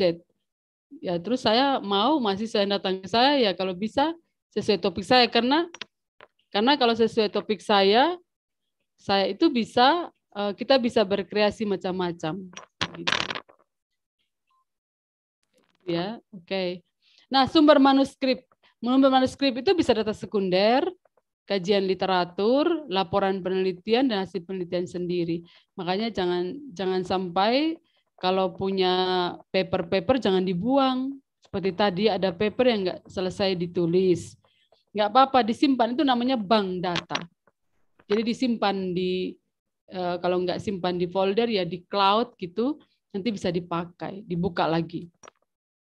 Nah, mungkin kalau di mata kuliah metodologi saya memberikan tips gimana caranya membuat bank data. Tapi karena ini menulis artikel, jadi nggak usah pola sampai sana. Nah, mungkin ini saya saya skip aja. Saya masuk ke PKMI sama PKMGT. Saya pikir ini sangat apa namanya sangat eh, teknis ya, nggak perlu saya tuliskan karena mungkin sudah dibahas di penu, uh, bahasa Indonesia. Itu saya nggak perlu. Begitu ya Pak Basko ya. Nanti ketua-ketua nanti. Siap, ini siap. kan ini kan sudah cara menulis ini Pak, cara menyusun gagasan utama, gagasan pendukung. Ini enggak mungkin saya pikir nggak penting. Ini cara terlalu ini controlling ideas kayak gitu loh Pak. Cara menulisnya. Nih, susunan deduktif kayak apa, induktif kayak kan saya pikir udah nggak penting ini bahasa Indonesia ya Pak. Siap Bu. Nah saya saya close dulu. Oke, ada pertanyaan sebelum saya masuk lebih khusus ke PKMGT dan PKMI? Baik teman-teman, adakah pertanyaan sebelum Ibu Ina masuk ke materi selanjutnya? Adakah di sini? Silakan. Tanya dulu. Ini tadi umum-umum tadi. Sepertinya nggak ada, Bu. Kita Oke, lanjut saja. Ini tidak ada karena mumet apa piye, Pak? Enggak, Bu, enggak mumet. Nah. Anak-anak pasti tadi enak kok penyampaiannya Ibu juga eh, enak Oke. juga sih. Saya rasa anak-anak juga kalau mendengarkan loh. kalau mendengar. Ya.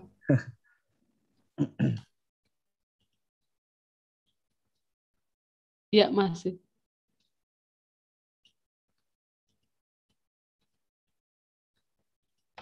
Sabar ya.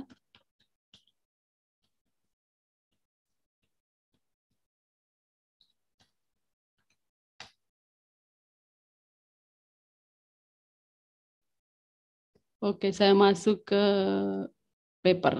Eh, ini yang lain ya. Share screen. Oke.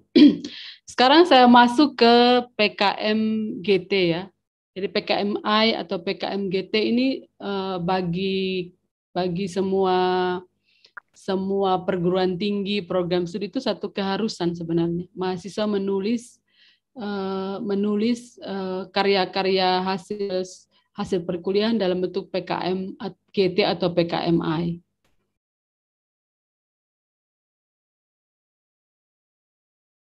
Ini tadi sudah saya pikir nggak perlu. Nah, minta tolong ini silakan di di apa akses gitu. Kalau mau nulis PKMGT atau PKMI itu contohnya sudah terlalu banyak. Tinggal download aja, tinggal diikuti saja. Cara nulisnya piye gitu. Walaupun kalau saya lihat eh, sebenarnya tidak semua itu bagus gitu. Tapi semangatnya pemerintah ini kan semangat untuk apa eh, memacu ya semangat untuk menolong, memacu buat mahasiswa percaya diri dan seterusnya sehingga banyak yang lolos. Nah, kalau tidak salah ini kalau PKMI sama PM PKMGT itu orang dapat 3 juta rupiah. Tapi sebenarnya bukan 3 jutanya. Kalau mahasiswa itu rajin meng- me- mem- membuat portofolionya berwarna, portofolio itu apa tuh Pak Bos- Bosco? Eh, portofolio itu apa ya? Em, pengalamannya dalam CV itu ya, itu berwarna, itu sebenarnya mahasiswa sedang mencari tiket, tiket untuk sekolah beasiswa lebih jauh. kayak gitu. Jadi kalau nanti mahasiswa mau mencari beasiswa S2 gitu ya, itu boleh itu.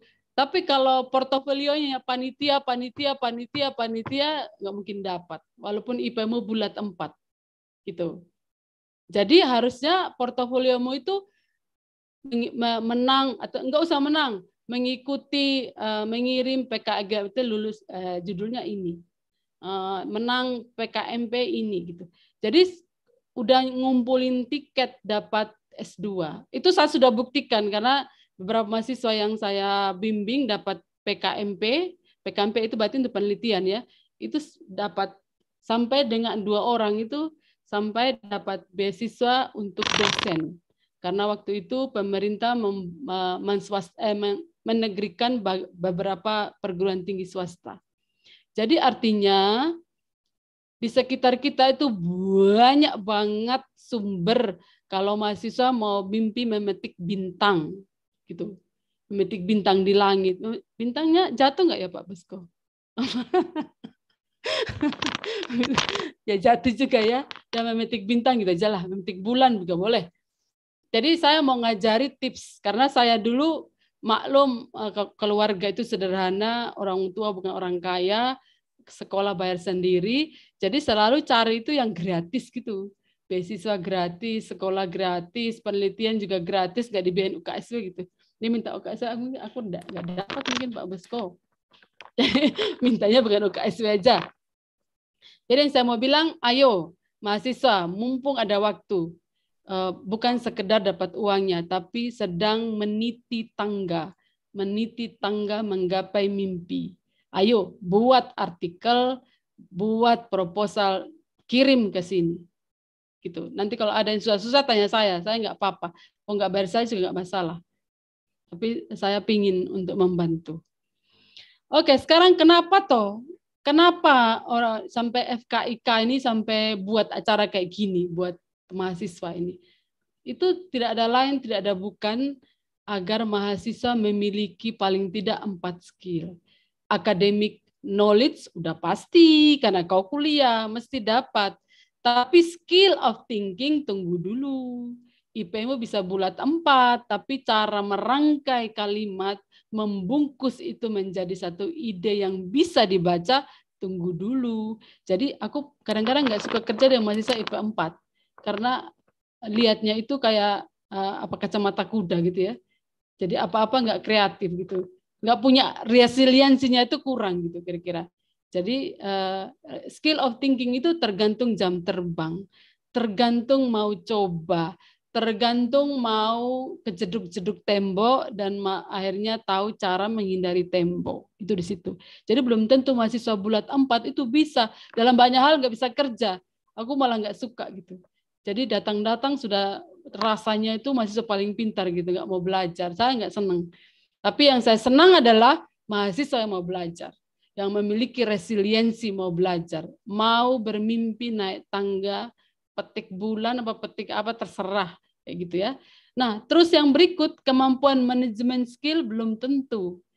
Belum tentu. Jadi orang yang susah itu justru punya manajemen skill yang tinggi karena dia terbiasa mengatur waktu, terbiasa bekerja, terbiasa. Kalau orang yang yang bukan berarti semua yang anak mapan dari orang kaya itu bukan berarti nggak bisa, tapi mereka itu sudah saking kepenak gitu ya, saking kepenak semua itu disediakan jadi dia belum tentu bisa. Nah, yang terakhir itu communication skill.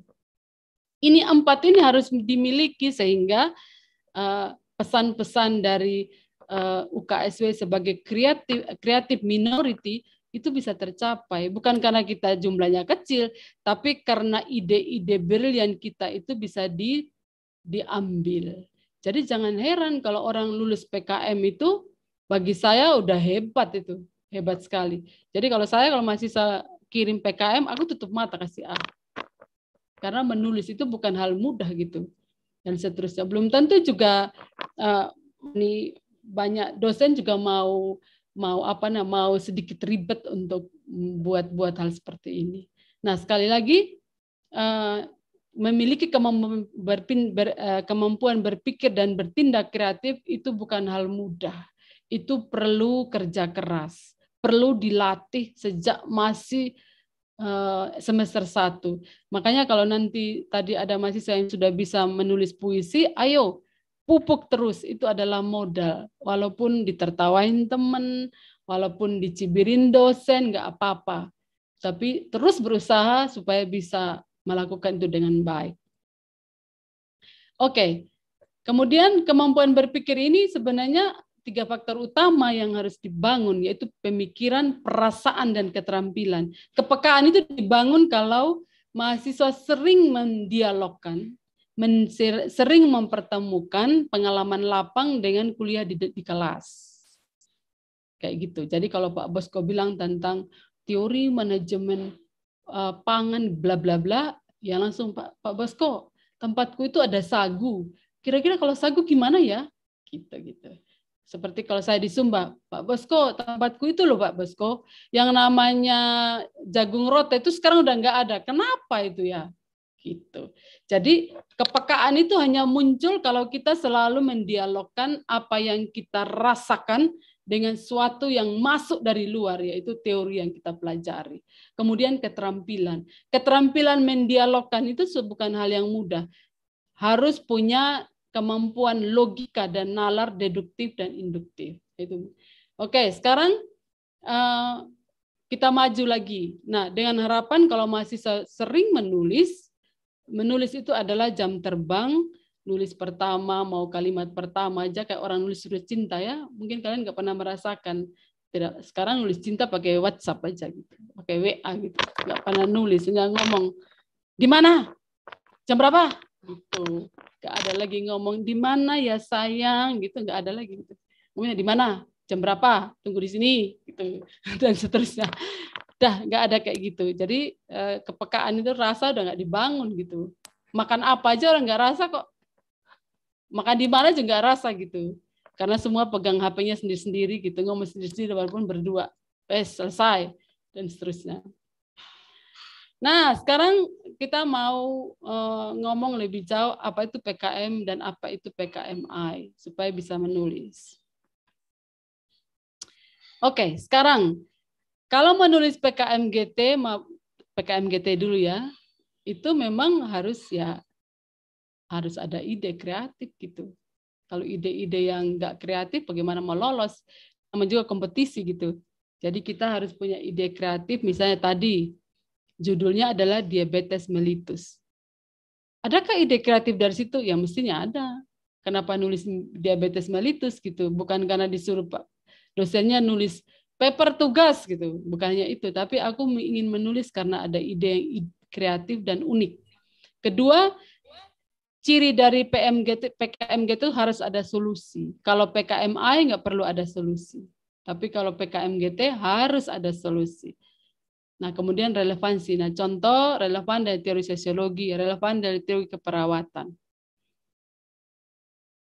Nah, ini uh, uh, isi dari PKMGT. Tadi kan saya bilang kalau dari latar belakang kita bisa menulis dari kerangka teori teoritis kita bisa menulis dari dari uh, metodologi kita bisa menulis begitu.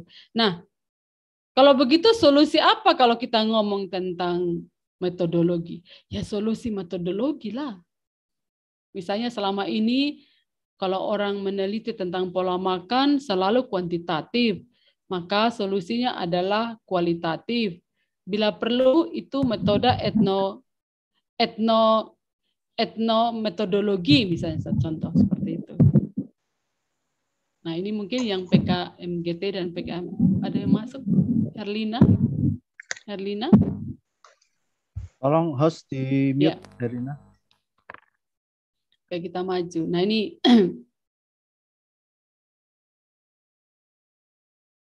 saya lanjut aja. Ini lanjut aja. Sumber sudah. Nah, ini ini uh, tahapan kalau kita mau menulis ya. Pertama sekali uh, ditentukan dulu case-nya apa? Kalau tadi dari dari teman yang ngomong tentang diabetes, berarti dia kunci di sini. Kunci kasusnya diabetes gitu. Nah, kemudian kumpulin data. Ini yang saya sebut dengan scoping study. Nanti kalau belajar metodologi mungkin eh, kita akan bahas apa tuh scoping study, fokusnya apa ya. Nah, kumpulinlah artikel atau jurnal dan data sekunder.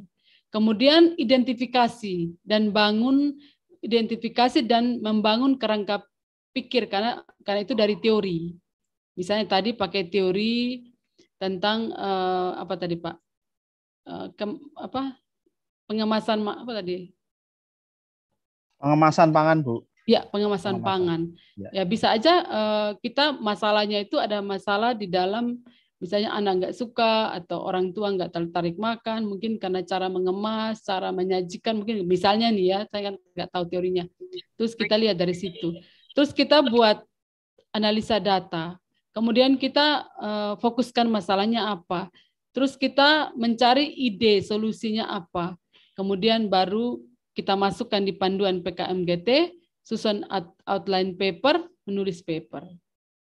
Makanya kalau saya punya mata kuliah, itu biasanya eh, silabusnya saya balik. Saya balik mengikuti panduan PKMGT. Jadi pertama sekali itu itu eh, eksplorasi masalah.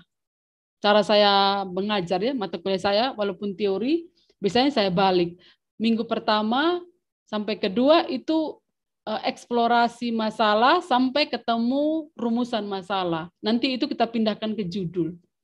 Nah, kemudian masuk ke yang kedua baru ngomong teori, kerangka teori, terus ngomong data, baru ngomong pembahasan, terus masuk ke paper kayak gitu. Jadi cara saya eh mana tadi?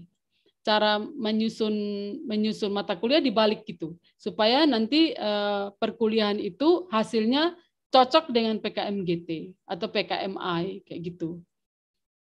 Itu dimungkinkan nggak ya Pak Bosko? Ya Kalau bisa di- saja, Bu. Iya. Bisa saja. bisa saja. Jadi mahasiswa tertolong ya. Pada saat kita kuliah tatap muka pertama kan bahas silabus, kita kunci di kasus. Terus yang pertemuan kedua at- atau sampai ketiga kita minta mahasiswa membahas eh, masalah-masalah yang dia ingin atau yang dia perhatikan atau dia tertarik memperhatikan yang sesuai dengan mungkin nanti penelitiannya. Nah, setelah itu masuk kita bahas teori. Setelah itu bahas lagi eh, datanya dari mana kayak gitu. Terus gitu. Itu cara menulis. Mahasiswa kalau abstrak tanya lo ya. Nah, sekarang ini sharing masalah. Nah, ini kan kalau sudah ketemu kan tadi saya bilang mat- per- perkuliahan ta- pertama kan hmm, kita bahas silabus, kita bahas topik. Pertemuan kedua kita indese saya bilang indi sharing masalah. Nah, ini contoh. Ini contoh mata kuliah saya itu eh, mata kuliah teori sosiologi modern. Ini dari kuliah ya. Eh, saya membahas teori, maaf Pak Bosko, ini contoh aja ya, karena saya nggak ngerti teorinya kebi- keperawatan. Ya. Ini saya ambil dari teori eh, sosiologi modern dan kritik.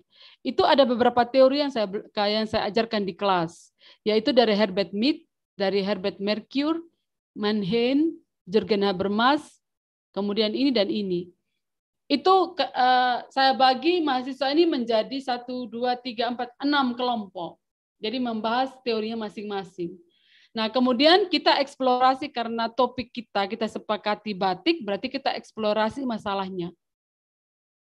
Nah, kalau tadi itu adalah eh, topiknya itu yang dibahas adalah diabetes mellitus, berarti yang dikasih di bundar-bundar di, di sini di sini jadi diabetes mellitus. Terus di sini itu kira-kira apa yang kaitannya sama diabetes mellitus? Misalnya pola makannya, apalagi kira-kira? Selain pola makan. Cara mengolah, Gaya hidup, Bu. Gaya hidup. gaya hidup, apalagi mahasiswa. Ini Ayo. yang keperawatan yang tadi diabetes Rando tuh harusnya tahu. Oh, ayo kita ganti apa? Pak, kita ganti apa kira-kira yang lebih dekat apa ya, Pak? Apa ya, Saya Bu? ganti. Ini tuh ada di sini tuh ada mahasiswa gizi, kemudian mahasiswa keperawatan, PJKR, Ayo, dan teknologi pangan. mari mari kita ganti apa gitu supaya gampang, jangan terlalu abstrak. Saya Ayo, bisa teman-teman. Teman-teman silahkan, ayo. Ini saya ganti jadi apa? Pangan apa? Apa kira-kira? Yang menarik apa? Apa ya Bu? Eh, ini aja Bu, kemarin anak-anak ini judul TA nggak apa-apa ya Bu? ya? Ya, nggak apa-apa. Eh, pengaruh penggunaan biji eh, teratai Mm-mm. sebagai substitusi pengganti tepung. Oke, kemarin ini ada ada ada anak tekpang kemarin penelitian mengenai biji teratai. Jadi pitit teratai ya biji teratai di sub- mengganti ya pengganti tepung. disubstitusi menggunakan tepung Oke. terigu dalam pembuatan pembuatan cookies. Eh, sabar, sabar. Saya ganti dulu ya.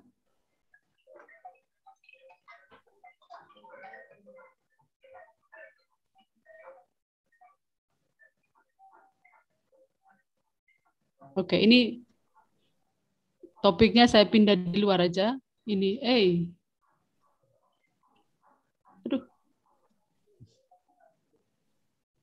Ini bisa kelihatan nggak tulisannya? Bisa Bu, bisa. Aman Bu. Aman ya. Ini saya ganti supaya nggak kelihatan batiknya.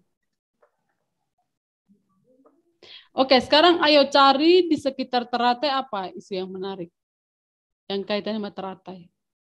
Kesehatan ya, kesehatan sama tek pangan. Jangan cari-cari ke mana-mana. Jangan bilang politik. Itu bukan areanya. Silakan. Ayo teman-teman tekpang mungkin. Ayo tekpang.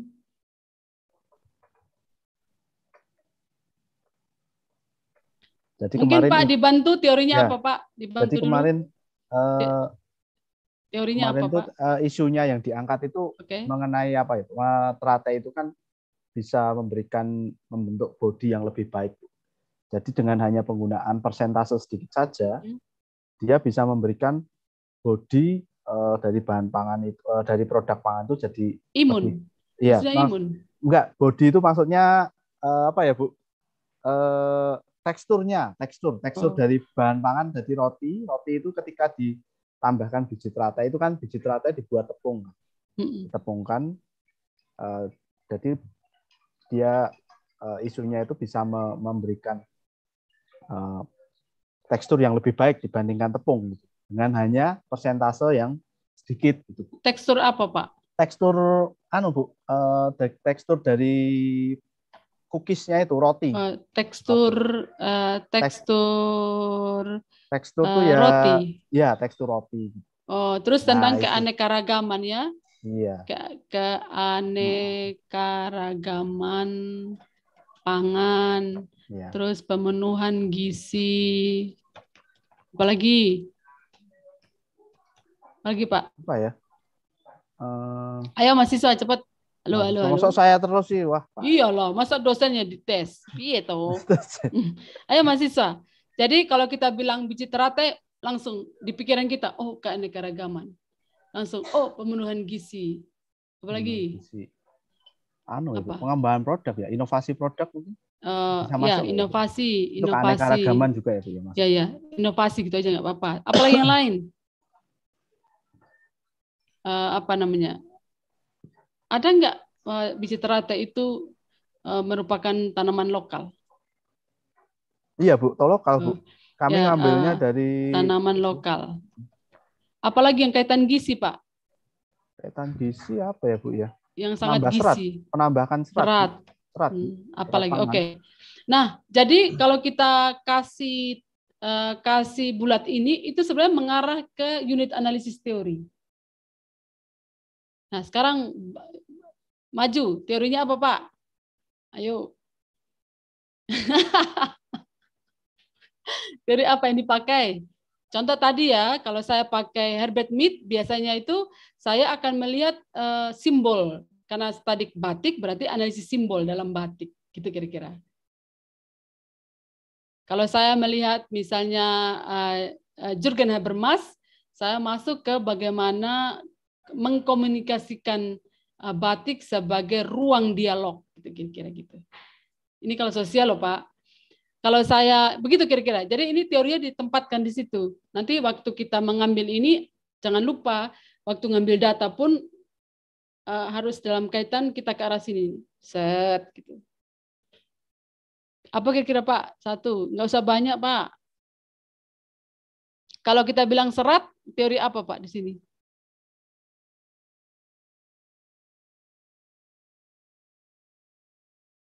Oh nggak dengar Pak Bosko nggak dengar Pak masih di mute. Kalau kaitannya dengan hubungan dengan apa pengaruh serat itu saya malah Oke. Jarang Oke, nggak apa-apa, nggak apa. Bilang Ya. aja. Biasanya kalau saya itu tulis nama tokoh, Pak, yang kita Oh, ambil, ditulis di sini. Misalnya nih ya, saya nggak usah nama tokoh ya. Kita ngomong tentang struktur serat, ya. Struktur. Jadi analisis nanti analisis struktur ya, struktur Iya. dan fungsi serat. Nah, bisa ditulis di belakang sini karena ini masa mahasiswa masih belajar, kita deduktif dulu.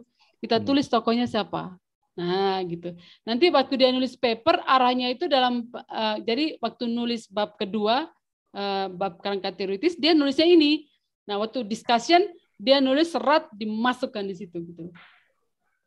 Itu. Terus Oh apa itu maksud maksudnya ini kutipan yang diambil. Ya. Ya, teori- eh, biasanya teori. kan ada teori-teori yang dipakai kan. Aduh. Nanti arahnya kalau kita ngomong serat teratai, ngomong bahwa struktur dan fungsi serat teratai itu cocok menggantikan tepung. Iya. Gitu. Apalagi ayo. nggak apa-apa salah nggak harus benar, lagi Pak. nih, dites lagi. Ayo mahasiswa, mahasiswa lah. Teman-teman ayo. Apa ini ada ayo semangat. teknologi pangan. Nanti Nah, nanti kalau yang, yang ini kan tujuannya ngasih seminar buat kalian. iya, ayo mahasiswa. Saya saya ini Muhammad Alfa, ayo Muhammad Alfa. Ini yang Muhammad anak, Alfa, anak TP itu siapa Apa dia? Kayaknya tadi saya lihat ada sekar kayaknya. Sekar. Sekar, Sekar, Sekar. Sekar Ayo. langsung langsung menghilang nih. Takut ditanya. Sekar, Sekar. Mungkin saya mau jawab, Bu. Ya, Boleh, siap. monggo. Siapa kamu namanya?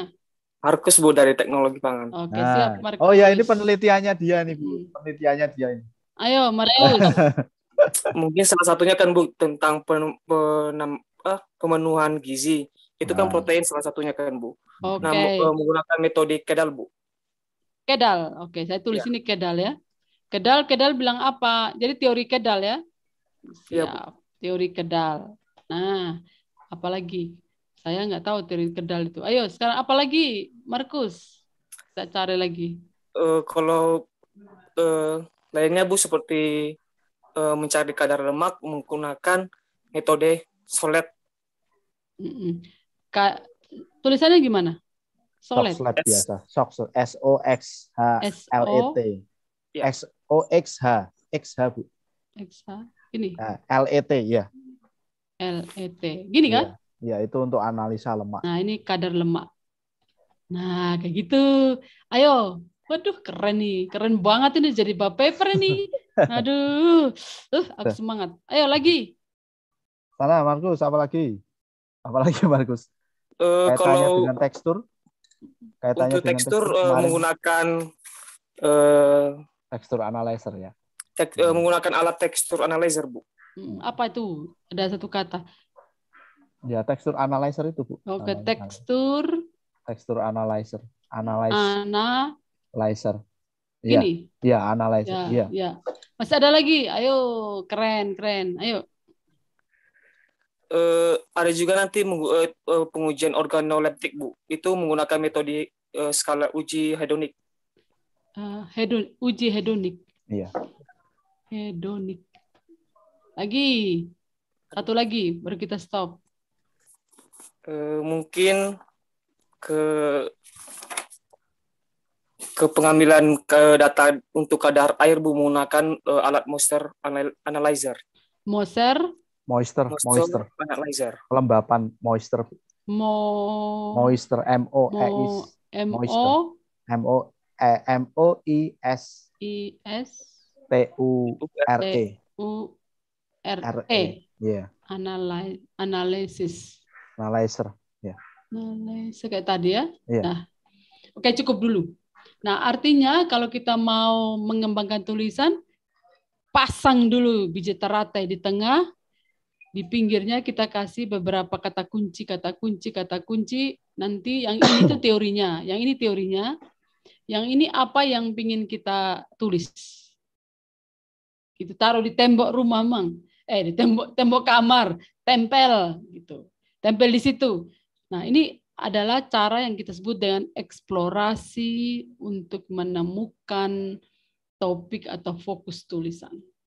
Ini juga bisa untuk proposal, gitu. Ada pertanyaan? Keren ini. Ini ini kalau saya membuat kalau saya melakukan riset dengan banyak orang, caranya begini.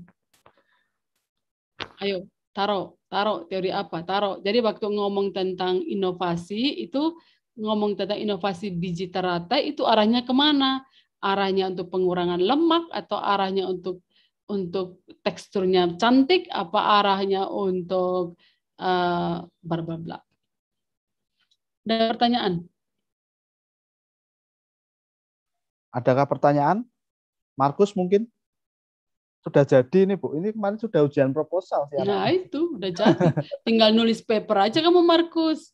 Jadi Iya. proposalmu itu diubah menjadi tiga paper. Latar belakangnya satu paper, kerangka teoritis satu paper, metode satu paper. Cara menulisnya adalah cara mem- memaparkan isi. Kalau yang bab satu itu perdebatan, yang di- dipaparkan adalah bagaimana menjelaskan kepada pembaca bahwa terate itu keren loh gitu. Bisa dipakai sebagai biji pengganti tepung. Kenapa? Karena tepung itu ganas itu tepung. Kemudian tepung juga kita banyak import. Padahal kita punya eh, pohon pohon banyak banyak sekali pohon teratai yang bisa kita gunakan. Dan biji teratai ini ternyata belum terlalu populer dalam masyarakat.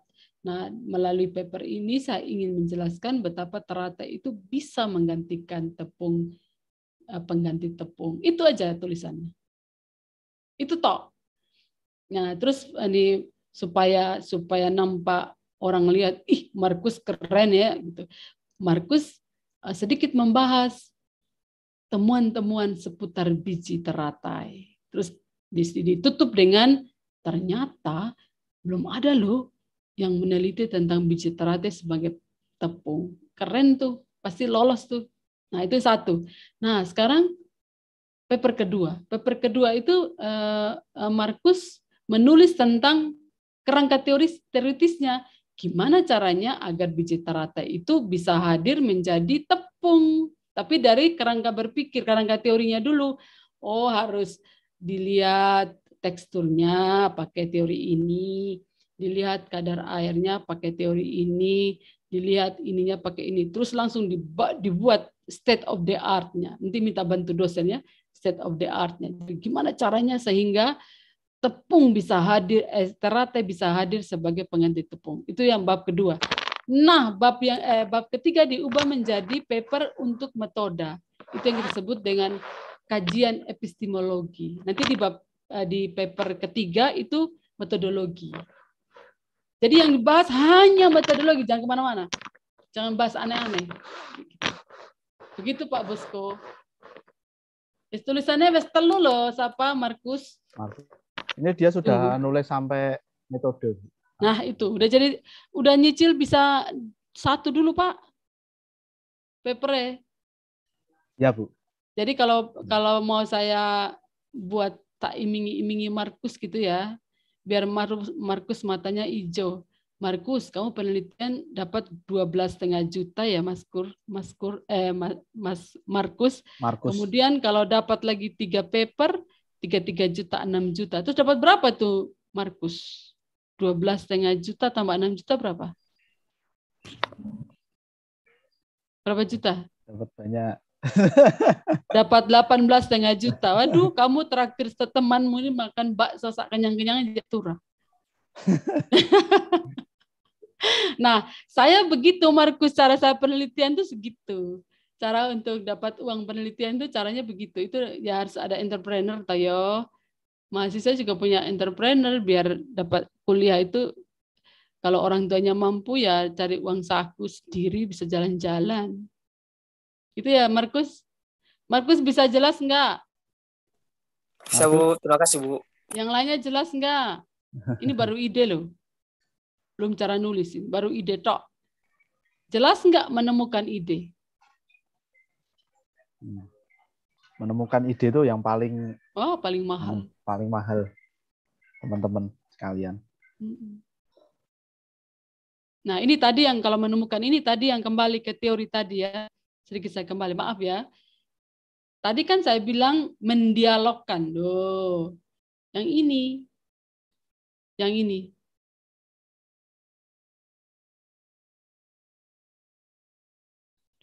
Yang ini tadi. Jadi mendialogkan ini dan dialogkan ini terus dialogkan ini terus bisa ma- Nah, jadi kalau kalau si Markus menulis tentang bab satu itu sebenarnya dia nulisnya ini. Tadi yang latar belakang ya, paper yang bersumber latar belakang itu nulisnya ini. Yang dia bicara itu sampai orang ngeh bahwa ini penelitian penting. Jual kecap, kecap yang paling enak, paling top gitu. Itu caranya itu. Nah, sekarang kalau nulis dari bab 2, itu yang ditulis cuma ini tok ini loh. Iki tok. Dia mau bilang bahwa iki loh. Kalau saya penelitian ini terate itu bisa loh untuk ganti tepung. Caranya itu dengan cara men, eh, kerangka teoritis itu dijelaskan. Bisa ini, ini, ini. Nah, pada saat dia ngomong tentang metodologi, sebenarnya dia hanya ngomong tentang gimana ini. Tapi masih di masih di di kertas, belum dilakukan. Nanti kalau sudah penelitian, kira-kira Markus punya penelitian berapa berapa eh, tujuannya?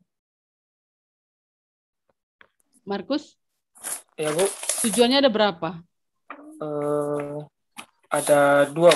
Waduh, kau tambah dua paper lagi, Mar Markus. Tambah dua, jadi kau bisa lima sekalian. Ya lah, keren banget. Ya, tujuan yang pertama apa, Markus? Eh, maaf Bu, salah Bu. Satu Bu. Satu. Ya, kalau satu jangan apa tuh judulnya yang tujuan satu itu apa? Untuk mengetahui konsentrasi atau perbandingan antara tepung biji teratai dengan tepung terigu dalam pembuatan cookies yang memiliki karakteristik sensori dan fisikokimia yang tepat. Oke, bisa nggak kau pecah-pecah jadi dua atau tiga topik? Yang terakhir itu yang kau sebutkan tadi. Sebelumnya apa? Tahap apa? Sebelum sampai yang tadi yang kau sebutkan. Eh, Kau lakukan apa? Jadi tadi yang kau sebutkan itu kan sudah sintesa, sudah menggabungkan semua. Nah, sebelum sampai ke situ kau lakukan apa? Sebelum jadi cookiesnya. Eh, pertama dulu adanya pembuatan eh, tepung dari biji teratai biji teratai. Terus, ya, terus, terus, kedua, Eh, eh, adanya uji uji pendahuluan maksudnya itu Bu, eh, mencari formulasi yang tepat untuk pembuatan cookies. Di mana eh, eh, itu formulasinya itu antara tepung biji teratai dengan tepung terigu Bu. Hmm, terus, Nah selanjutnya nanti baru ada uji eh, proximat itu uji eh, kandungan gizinya Bu. Hmm, terus, Sama satu lagi nanti uji eh, dua lagi eh, satu lagi uji organoleptik itu eh, bagian dari rasa, tekstur dan lain sebagainya. terus, dan uji tekstur di eh, tek- pakai tadi deh Bu, tekstur Hmm. analyzer. terus, Segitu aja. Bu. udah berarti kan kau bisa nulis sampai lima. Sampai lima. Soalnya orang nulis paper itu hanya 6.000 kata loh, jangan lupa. Hanya 6.000 sampai 8.000. Jadi kau harus cicil. Ngapain kau tulis satu paper, kau tumpahkan semua. Orang mumet. Jadi kau sudah dapat lima paper. Ya Allah, Tuhanku, kau sudah dapat delapan paper. Gusti, Gusti. Udah kau udah dapat tiket S2 bi- bi- beasiswa itu. Betul Markus. Itu kan jadi kalau orang nulis itu jangan ditumpahkan satu paper. Orang nulis satu paper itu hanya 6.000 paling banyak itu 8.000. Biasa orang nggak terima 8.000, hanya 6.000. Bahkan jurnal internasionalnya 4.000 toh. Jadi ngapain kau mau judul-judul aja sampai sesa- separuh halaman sendiri. Gitu Markus. Jelas ya Markus?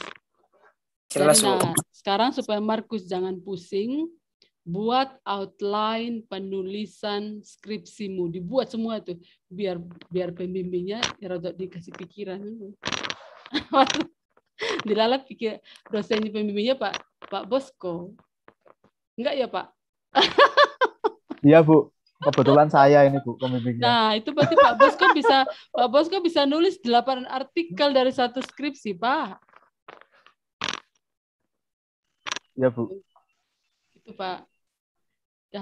Nanti ditulis struktur penulisannya ditambah ya eh, Markus ya di di metodologi ditambah struktur penulisan skripsi. Satu latar belakang eh, akan dituangkan menjadi paper judul ini. Eh, Bab dua kerangka teoritis akan dikembangkan jadi paper ini. Bab tiga metodologi akan dikembangkan jadi paper ini dan seterusnya. Nah keren, ah, keren banget. Aku nggak sabar nunggu hasilnya. Siap, siap. Nah, kira-kira semakin tidak abstrak atau Pak? Atau Pak abstrak ini Pak? Apanya Bu? Masih abstrak Kak kira-kira bagi mahasiswa ini yang saya jelaskan? Hmm, sejauh ini, ah. kalau saya sih pribadi oke sih Bu. Tapi Oke. teman-teman mungkin ada yang Oke, bingung, bisa Oke, bertanya langsung saja. dulu. Kalau mau bertanya mungkin Silakan. Ini baru kita baru ngomong tentang i, apa ya topik atau ide dari proposal. Ayo Bu Yulita, Yulita Indriani, oh, mau ngomong nggak? Yul eh Yuvita. Juvita, Juvita. Juvita Indriani, Noha. Ada bingung nggak kalian, teman-teman? Yang bingung siapa? Raise hand. Eh, pada biasanya kalau nulis proposal itu masih sering Bingung. belum belum Nah, itu. anu sih. Kebanyakan Nah, teman-teman aku mahasiswa sih aku punya cara yang sederhana sebenarnya. biasanya mereka awal itu biasanya kalau menurut pengalaman saya sih beberapa begitu Iya. ada sih.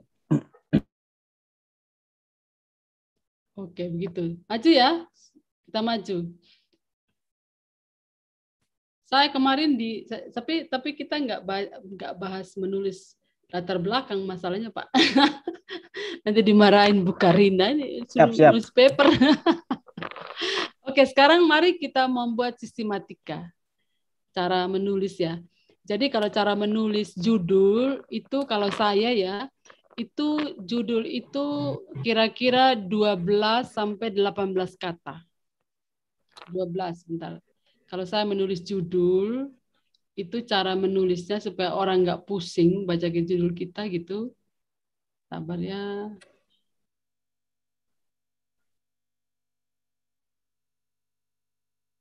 Judul ya, menulis judul.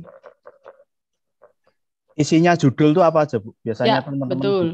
Betul. 12 sampai 18 kata. Jangan jangan banyak-banyak. Isinya biasanya itu adalah fokus, dalam judul ada fokus, ada lokus, ada tempus. Tempus ini tempo ya. Ini tidak selalu, tidak selalu. Jadi kalau saya bilang fokus, berarti kalau kita bayangkan fokus itu kita bayangkan unit analisis yang akan kita jadikan kesimpulan dalam paper kita. Misalnya kalau saya mau bilang saya mau nulis i bank sampah, berarti yang saya fokus itu pada unit apa yang mau ditulis di situ. Harus ada fokus. Kemudian ada lokus. Lokus itu pasti tempat. Saya nggak tahu kalau keperawatan perlu nggak lokus. Kalau perawatan loh. Atau nggak penting. Kalau tempus itu tidak selalu ya. Misalnya tadi uji apa itu, eh, apakah perlu lokus apa enggak? Kalau enggak juga enggak apa-apa, tapi kalau ilmu sosial itu selalu lokus menjadi penting gitu. Mungkin di eksakta mungkin enggak penting ya. Mungkin. Nah, sekarang saya kasih contoh ini ya. eh, ini ini isinya, isinya. Terus biasanya itu hanya 8.000 sampai ser- 10.000. Ini terlalu baik ini. Biasa orang enggak enggak mungkin sampai 10.000 kata. Ini terlalu murah hati biasanya itu 8.000 pun jarang. 8.000 ya. Biasa orang itu sekitar 6.000 gitu rata-rata. Jadi jangan sampai menulis paper itu semua mau ditumpahkan. Masa misal baru kenalan, aku cinta padamu, ngomong semua dikeplak isisan gitu. Langsung kaget. Ya udah di ngomong satu-satu, satu-satu, satu-satu gitu. Nanti boleh nggak aku ngomong sintesa di akhir? Boleh. Waktu kita ngomong sintesa itu kita ngomong inti dari tulisan 1 sampai 8 itu dipindahkan di satu paper terakhir. Itu bisa. Nah, biasanya itu kerjaannya dosen gitu, karena kalau mahasiswa mungkin terlalu tinggi ya untuk itu. Nah, abstraksi dari semua tadi paper itu bisa diserahkan kepada dosen. Iki, iki mentari, mentari. Nah, mungkin sebelum saya masuk, eh, kalau PKMGT itu sebenarnya intinya cuma ini. Simple sekali sebenarnya ya. Jadi bukan hal yang sangat sulit kalau kita ngomong tentang PKMG. Contoh, eh, solusi yang si Markus tawarkan kan tentang uh, apa namanya biji terate untuk pengganti tepung kan gitu nah di sini jadi pendahuluan seperti apa kerangka berpikir ini kan aku maaf karena aku orang sosial kan aku bisanya cuma gini Gak bisa ngomong biji terate di ekstrak gak bisa nah ini terus kemudian dan seterusnya nah kita masuk satu-satu nah ini jadi uh, ringkasan itu ini kalau teman-teman menulis PKMGT jangan lupa satu halaman ringkasan itu sangat-sangat penting. Sama juga saya buat proposal ya. Saya tumpahkan semua energi saya untuk menulis satu halaman. Halaman satu halaman itu sekitar 500 kata, digunakan sebaik-baiknya untuk menulis itu. Nah, apa yang ada di ringkasan? Di ringkasan itu menjelaskan semua yang akan Mbok tulis, mulai dari latar belakang, solusi yang ditawarkan, tujuan dari paper, teori yang dipakai, hasil yang dibayangkan, kesimpulan, dan seterusnya. Seperti itu. Jadi kalau orang itu, karena saya reviewer ya, tapi saya review proposal, biasanya saya tumpahkan perhatian di sini, kemudian saya cari di belakang, benar enggak? Dia bilang latar belakang, bilang gini, teratai adalah tanaman sangat bagus untuk mengurangi eh, pengganti tepung dan mengurangi bla bla bla. Nah itu saya cari di paparan latar belakang. Benar nggak? Jangan sampai di situ dia ngomong teratai, yang lainnya dia malah ngomong bukan teratai. Itu nggak boleh. Terus solusi apa yang ditawarkan dan seterusnya. Itu ada di uh, satu halaman itu. Tumpahkan semua perhatiannya di satu halaman ini. Sangat penting. Nah ini contoh ya tadi yang saya bilang ya. Maaf kalau saya tulis bukan untuk kebidanan ya, karena saya bukan orang kesehatan. Ini contoh contoh apa namanya? Contoh judul. I Bank Sampah Terpadu berbasis masyarakat sebagai solusi pengelolaan sampah berkelanjutan. Jadi fokusnya ini, lokusnya Kota Salatiga, tempusnya nggak ada. Tempus itu tempo. Ini bisa jadi paper. Nah, kalau saya mau nulis teori, eh, saya balik dong. Itu teorinya ditulis di belakang. Misalnya ibang sampah eh, terpadu dari perspektif teori Herbert Mead. Berarti kan menulis, melihat eh, teorinya, kira-kira gitu. Nah ini ini contoh ringkasan. Nah ini adalah eh, apa namanya um, latar belakang ya. Maaf saya nggak bisa kasih contoh kesehatan karena tidak punya penelitian kesehatan. Maaf. Jadi uh, saya sangat terbatas memberikan ilustrasi untuk kesehatan. Tapi yang saya tulis ini adalah bank sampah mungkin eh uh, ekobatik gitu ya. Mungkin ad, kalau di sini mungkin ada aspek kait mengkait sama kesehatan reproduksi. Ini yang latar belakang. Nah, latar belakang kalau bank sampah kira-kira cuma ini. Jadi kita buat outline dulu kita buat outline dulu mau tulis apa. Kalau itu 6.000 kata berarti teman-teman menulis latar belakang hanya sebanyak dua halaman yaitu 1.000 kata. Jadi nggak bisa banyak. Hanya dua halaman yaitu dua seribu kata untuk latar belakang. Nggak lebih dari situ. Jadi oleh karena itu kita harus melakukan membuat outline dulu. Apa yang mau saya tulis, agar meyakinkan bahwa ibang sampah itu adalah solusi gitu kira-kira. Ini hanya poin-poin. Sama juga apa yang saya tulis yang mengatakan bahwa biji teratai bisa menjadi pengganti tepung. Itu kira-kira ini sama aja. Apa sih persoalannya tepung? Waduh, tepung itu ganas loh. itu musuhnya adalah umur 50 tahun ke atas. Itu satu. Yang kedua, ternyata tepung juga tuh impor semua gitu. Terus harganya terus mahal, apalagi kalau dimainkan oleh para saudagar. Nah, ternyata kita punya banyak uh, uh, biji teratai yang bisa kita gunakan. Uh, kita punya banyak tanaman lokal yang bisa kita gunakan untuk mengganti tepung. Nah, selama ini teratai ternyata tidak banyak dipakai. Nah, keunggulan teratai itu apa? Bla bla bla. Tapi kalau bisa menjadikan itu tepung harus melalui bla bla bla bla bla bla. Jadi, dalam paper ini saya ingin menjelaskan bahwa biji teratai adalah solusi bagi kebutuhan eh, eh, apa namanya? Um, apa namanya melengkapi kebutuhan atau mengganti uh, tepung gitu. Oke, sekarang saya mau tanya, udah bisa bisa di eh, bisa dimengerti tidak?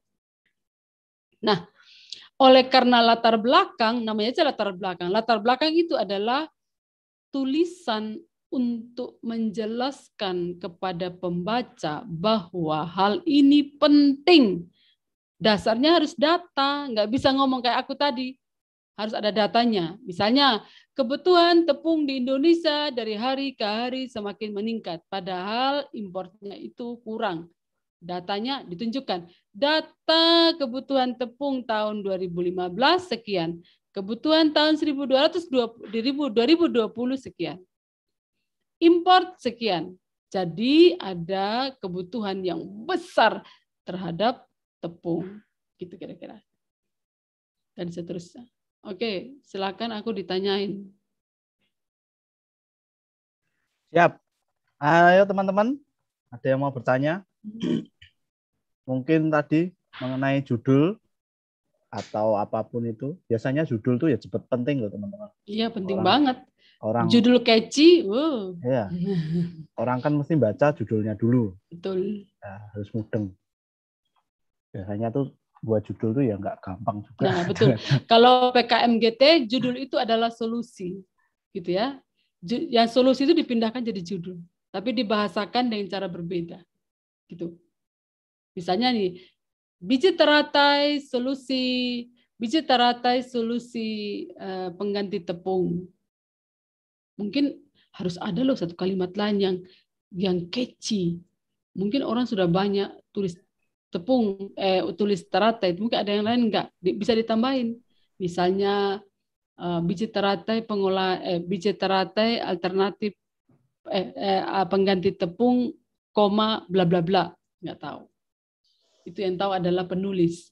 Karena saya nggak punya imajinasi bukan orang teknologi pangan. Taunya makan gitu. Nggak tahu sumbernya. Ada teman-teman yang sekiranya mau bertanya ini buka sudah bu, sudah sesi pertanyaan atau ya. masih lanjut bu?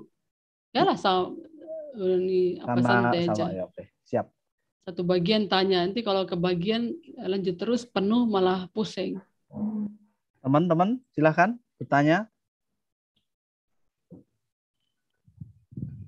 Kok Rano sing takon? Lah iya, Rano sing takon berarti wis mudeng kabeh.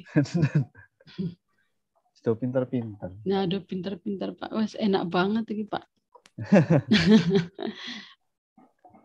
Oke, ada yang mungkin ada yang mau tanya apa prinsip yang ditulis latar belakang gitu? Latar belakang, ya biasanya latar hmm. belakang itu iya. anak-anak. Ayo. Nah.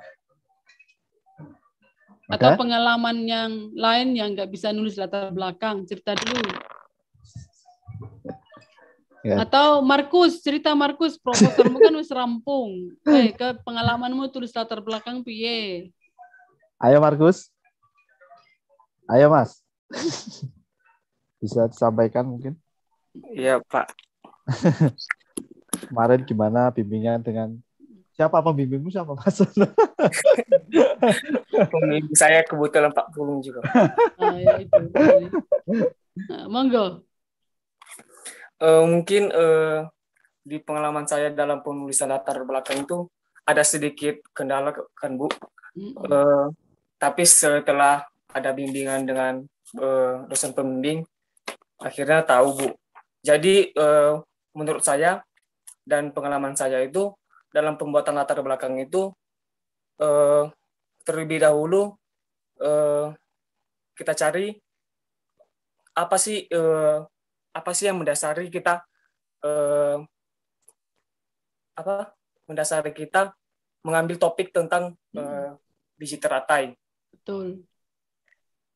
Nah selanjutnya eh, itu kita cari data-data eh, mengenai eh, tanaman teratai itu sendiri, Ya, baik itu dalam eh, fungsinya, manfaatnya, ya, dan juga eh, apa sih kekurangan dari biji teratai ini sehingga kita eh, kita mengolahnya untuk menjadi inovasi baru. Kelebihan. Nah kelebihannya bu, gitu. Iya, betul. Betul.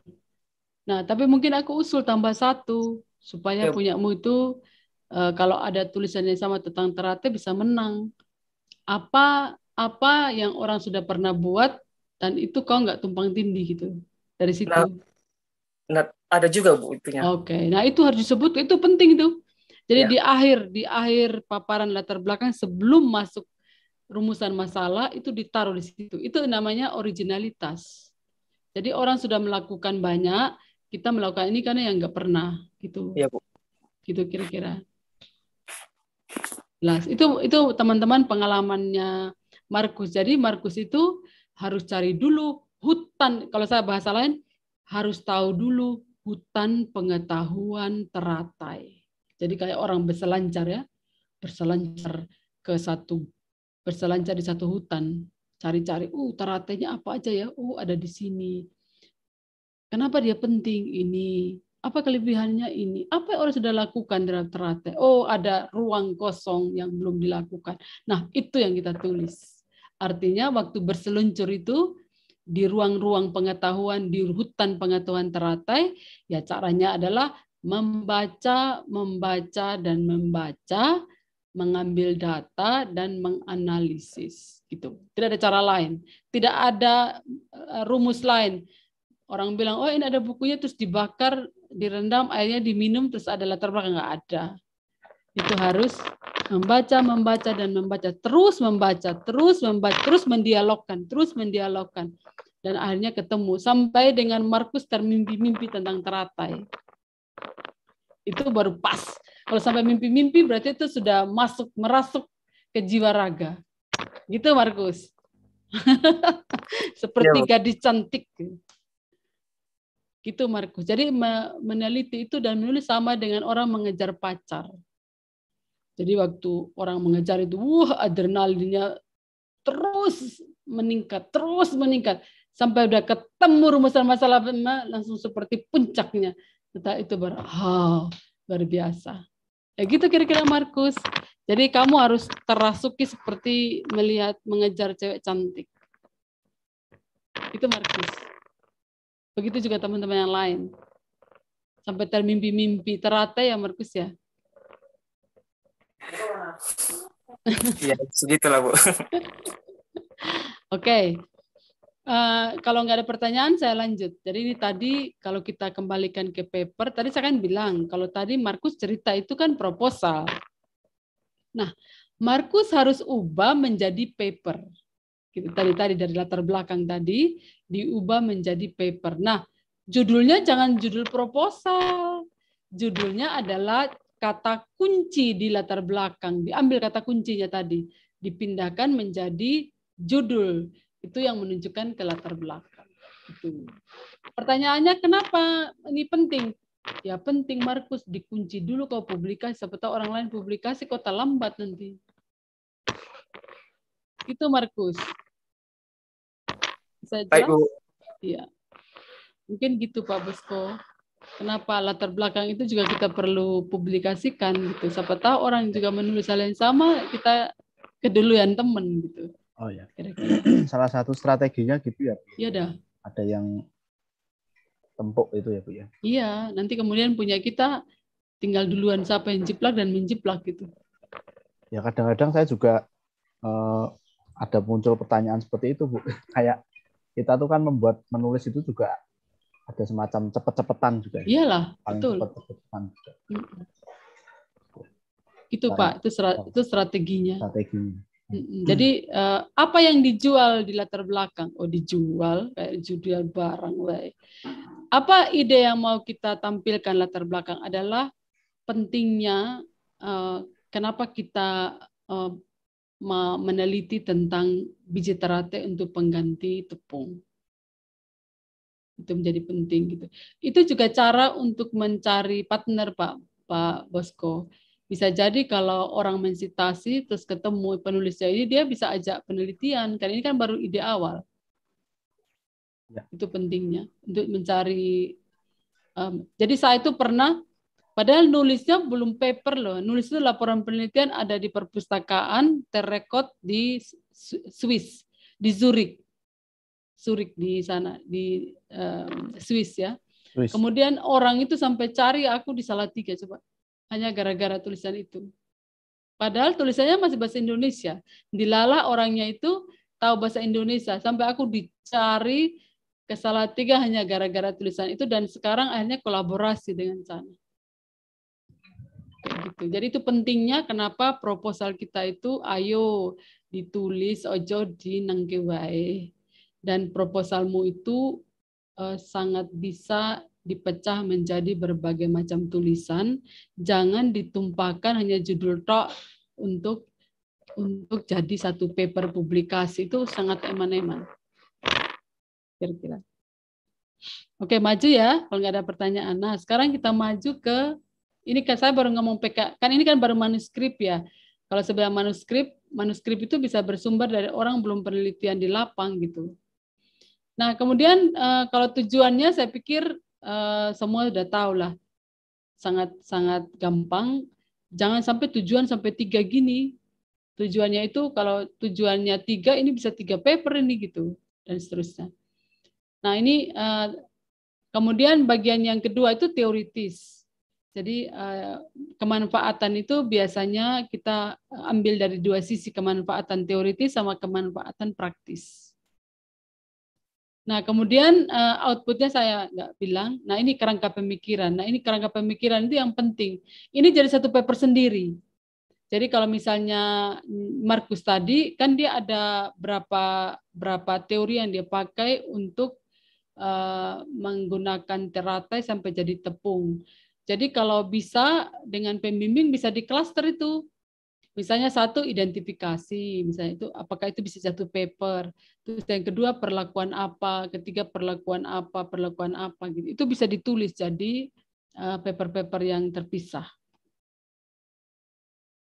Nah, saya pikir itu nah ini kalau ini tentang bank sampah ya eh, jauhlah dari dari eh, bayangan keperawatan. Kalau ini sudah saya lakukan karena saya mengelola bank sampah ya. Ini, ini dan seterusnya. Nah, ini implementasi solusi. Eh, kalau di PKMGT itu kan ada satu bagian yang namanya implementasi gagasan. Nah, ini ini bisa bisa dieksplorasi. Bagaimana caranya itu bisa eh, menjadi solusi bagi siapa yang mau kita targetkan. Ini programnya apa? Kalau di PKMGT itu ada. Ini saya pikir saya lanjut aja. Ini nggak penting. Kesimpulan. Terus daftar pustaka, kemudian lampiran. Nah, nah ini judul saya yang lain. Ini saya bilang judul tuh catchy. Saya pakai ini. Ini judul ini dapat proposal, dapat menang proposal loh. Eco Fashion to Empower titik-titik. Boleh kan? Jadi kita kalau menulis judul itu bisa membuat judul yang catchy. Karena orang tertarik, hah apa titik-titik gitu. Jadi titik-titik itu penting. Nah, tadi kalau ada teman-teman yang senang menulis puisi itu, waduh mereka itu pintar sekali untuk me- menemukan diksi ya, untuk menulis. Nah, eh, eh, apa namanya? Ini sudah jadi beberapa paper gitu. Ini salah satu paper udah saya saya tulis gitu eh, dan dapat dari hibah hibah eh, riset. Nah, di sini saya tersengaja menulis eh, judul pendek. Ini namanya judul, ini subjudul. Ecofashion to Empower, titik, titik, titik. Itu sengaja. Nah, bisa nggak ini Markus juga menulis kayak gini? Bisa aja. Misalnya bisa teratai tidak hanya cantik dipandang, titik dua. Boleh toh? Betul nggak Markus? gitu. Jadi bisa terate eh, bi- bisa aja di, te- te- eh, mengenal eh, roti teratai boleh juga. Roti teratai titik dua. Boleh nggak Markus? Halo Markus. Halo Bu, maaf tadi putus-putus Bu. Jadi eh, Markus boleh nggak tulis roti teratai atau roti tidak eh teratai tidak hanya cantik dipandang, boleh. Titik dua apa? Boleh banget. Gitu Markus. Nanti dengan Pak Pak Pak Pak Bosko ya di eh kok Pak Bosko, Pak Pulung sorry. Pula? sorry sorry sorry maaf maaf. Iya Bu, nggak apa-apa Pulung. Salah selama ini salah salah saya makanya saya pikir soalnya Bu Na- Bu Bu Karina bilang nanti yang mimpin ini bosku jadi Iya. oke sorry sorry nanti dengan pembimbingnya bisa nulis judul-judul yang cantik. Oke saya pikir cuma itu yang mau saya saya nggak tahu em, eh, karena kita nggak sampai praktek ya jadi eh, saya hanya berikan clue-clue aja untuk untuk bisa menulis gitu.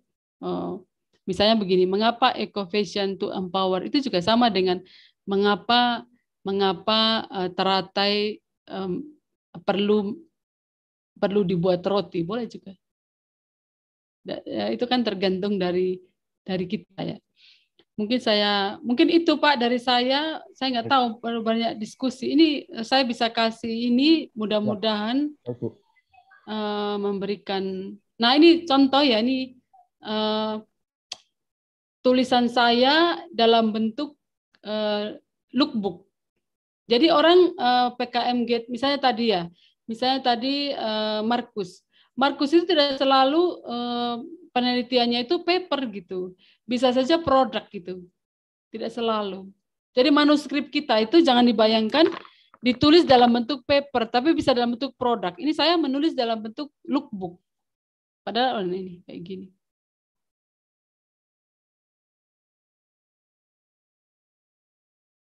Jadi saya menghasilkan satu produk itu eh, dan lookbook. Nah ini, ini karena yang saya buat sama juga nanti Markus kan juga sama. Saya kan dari kain eh, kain batik sampai jadi begini-begini, sama saja. Mungkin itu Pak dari saya, karena memang apa ya eh, masih abstrak. Baik Bu, terima kasih. Saya coba sambil Pak Pak Pulung ngomong, saya coba cari eh, satu slide saya yang menyusun indi sharing. Silakan Pak. Baik teman-teman, saya rasa jelas sekali tadi penjelasannya Bu Ina ya, eh, bagaimana latar belakang. Saya rasa sam- sama ya, menulis latar belakang, kemudian judul, kemudian itu basicnya hanya background kalian kan beda-beda kan. Ya betul. Tapi untuk inti inti apa yang ditulis dari awal dari latar belakang itu, kemudian bagaimana terus eh, sampai apa sampai metode, kemudian sampai pembahasan itu itu kan latar belakangnya dulu harus sama, intinya sama. Dan tadi Bu Ina juga menjelaskan eh, sering-seringlah menulis. Entah itu ya kalau sekarang kalian jelas itu wajib menulis eh, hal yang bersifat apa ya eh, artikel ya artikel ilmiah tapi nanti ketika ketika kalian sudah lulus atau punya hobi menulis lain kan ya nggak apa-apa tapi ini kan suatu kewajiban juga untuk untuk kalian lulus kalian harus menulis eh, artikel ilmiah ya. ya tadi tadi sudah diberi masukan seperti ini cara membuat judul isinya itu seperti apa dan apa pun itu mungkin ada pertanyaan mungkin dari teman-teman kak sekalian?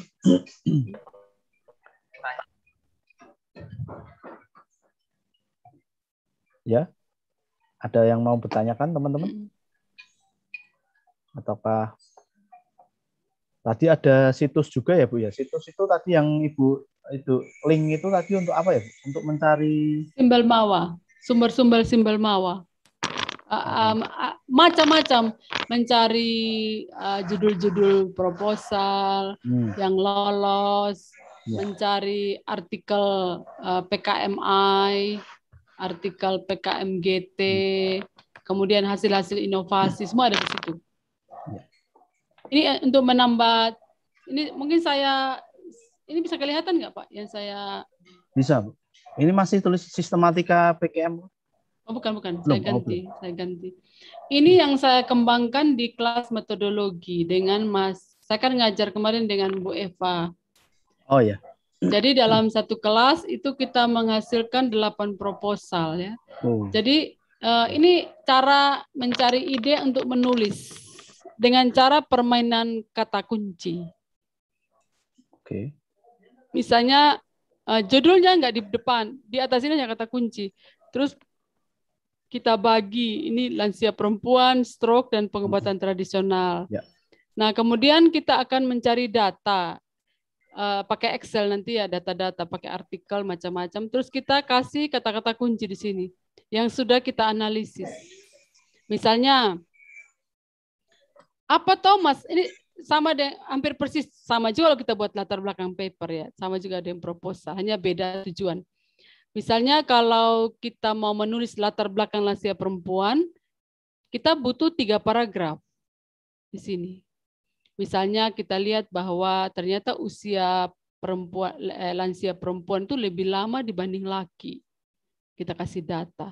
Yang kedua, ternyata lansia perempuan itu punya persoalan tentang menopause dan dampaknya. Terus kita bilang bahwa kerentanan perempuan itu juga karena budaya patriarki. Itu satu hal umum. Nah, terus kita jadi waktu kita mencari isu lansia ini jangan terpengaruh dengan isu stroke dan isu pengobatan, ditutup. Jadi kita cuma cuma mencari isu ini. Terus kita akan cari isu stroke, kemudian kita akan cari isu pengobatan tradisional.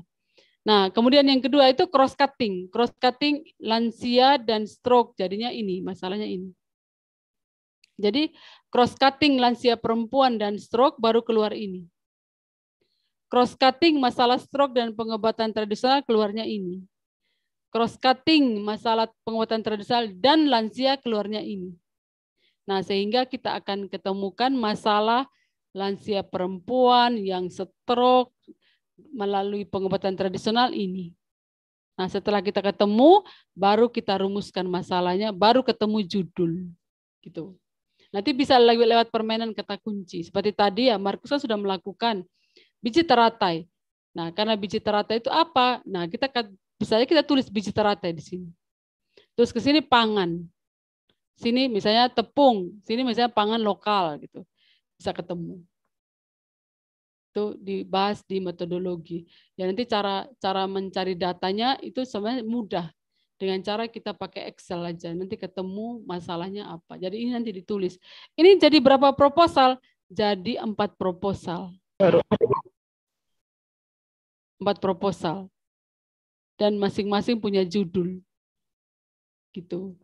Itu Pak apa Pak uh, Pak Pulung yang dibuat sama juga kalau kalau mau buat paper dari dari proposal misalnya dari skripsi bisa juga caranya seperti ini gitu mungkin ada teman-teman nih salah satunya mungkin ada yang penelitian di sini loh belum Hmm. ada ya bu ya bisa tahu bisa jadi nggak ngerti Anak-anak jadi kemarin ketawa. waktu kita buat metodologi penelitian itu menghasilkan delapan proposal untuk Hmm. delapan kelompok. Gitu. Jadi ada yang kuantitatif, ada yang kualitatif, eh, ada yang eksperimen. Ya. Kita buat. Nah, saya nggak tahu ini masih abstrak apa gimana, karena kalau kita mau benar-benar praktek ya workshop gitu. Ya. masih. Mungkin ini hanya pandangan apa ya, pembuka pen- pembuka wawasan kali ya Pak Pulung ya. betul betul bu jadi Mungkin itu. baik teman-teman ada yang mau ditanyakan mungkin Atau udah berat, udah mabuk. satu-satu diajar seminar Monggo. Teman-teman, silakan. Ini, ini eh, mahasiswanya diam seribu bahasa gimana nih? Ayo, raise hand. Pasien, nggak ada. Terus udah pinter-pinter. Udah pinter enak men ya Pak. Udah buat proposal paling masih kata-katanya masih paling codot-codot.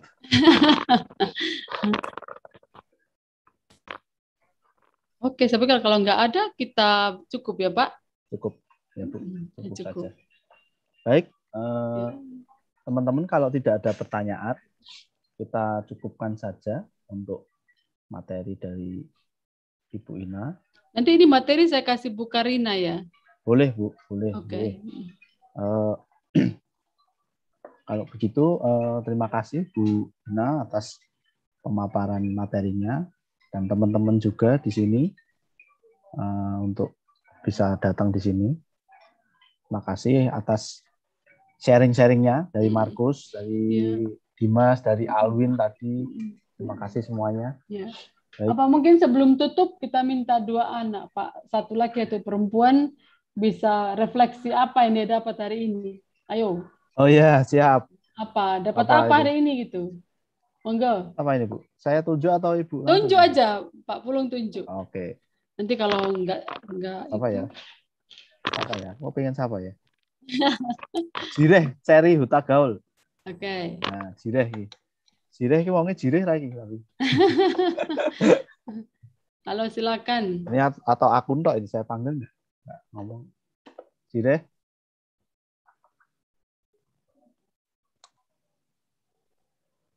Wah, enggak ada ini orangnya. Waduh, enggak ada. Wes, Udah lainnya aja Pak. udah mati- matiin kamera semua enggak tahu ini. Aduh. Apa, Bu? Kayaknya, Bu. Siapa ya?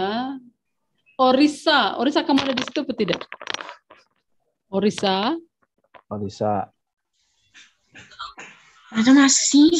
Oke, Orisa kamu dapat apa hari ini nih? Tiba-tiba aku ditanya, ayo Putri kamu dapat apa hari ini, Bu? Iya. Orisa, kamu Orisa dapat apa hari ini? Dia main-main aja, Bu. Halo? Ayo, Orisa, silahkan. eh, dapat tata cara penulisan yang baik benar-benar untuk TA Bu. Mm, Itu tadi aku nggak nggak ngajari tata tulis loh. Enggak maksudnya kan yang ada beberapa yang Ibu bahas tuh tentang judul. Ya. Ya, ya. Oke, terima kasih. Satu lagi, Stu eh, Stuart. Nah, ini Stuart Aldo. Stuart, Halo. Stuart Aldo.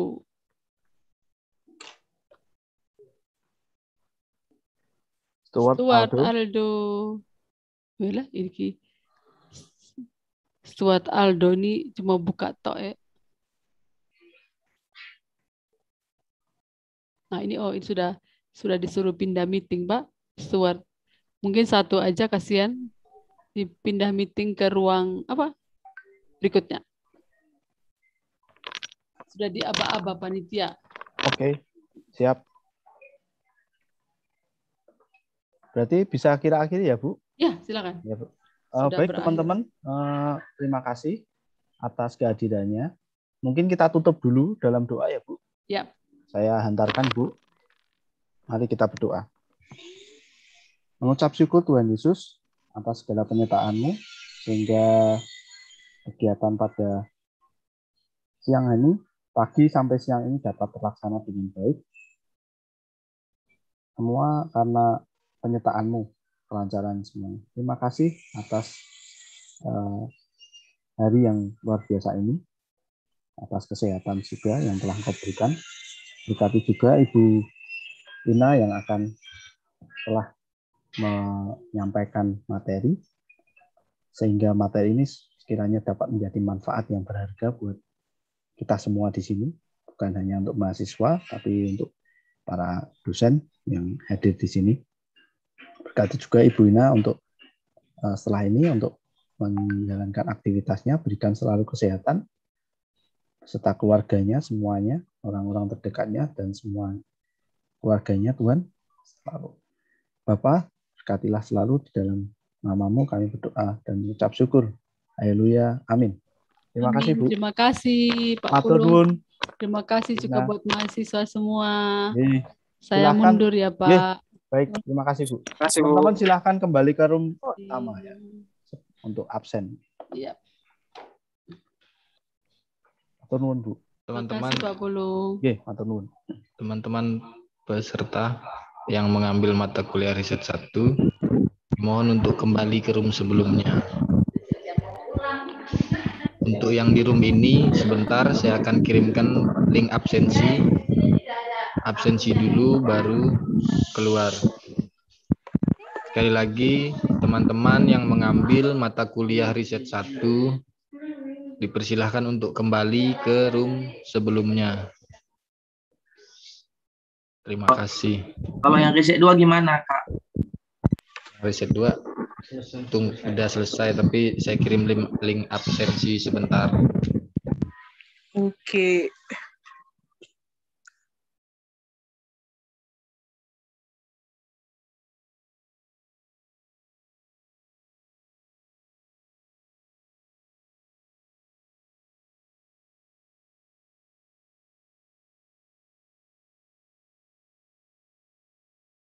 Kenapa aku Andy? Tanya. Apa yang mau ditanyakan? Salah tekan, Pak.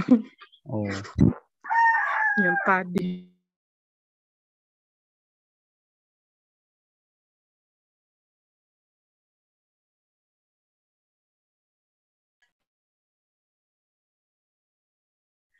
Pak, maaf Pak, mau tanya Pak. kenapa?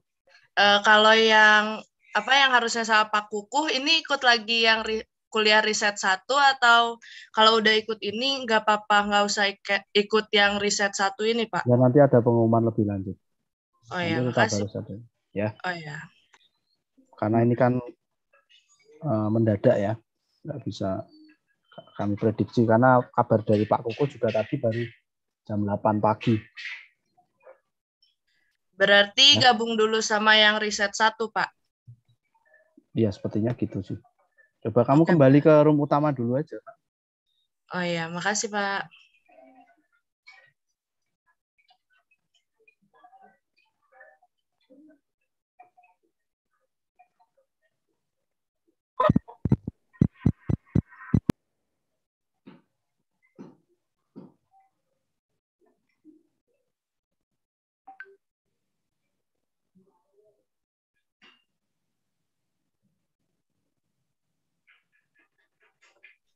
Ya, teman-teman yang mengambil riset 2 silakan untuk mengisi link presensi di kolom chat.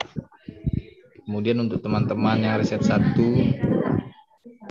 kembali ke room sebelumnya. Terima kasih.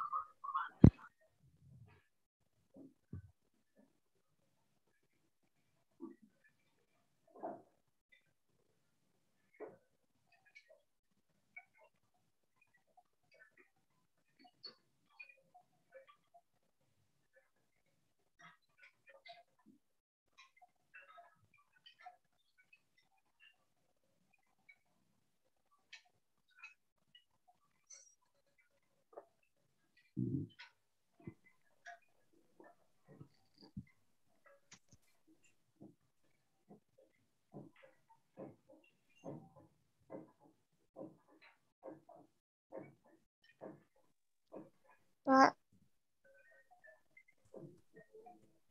Pak, mau tanya, Pak.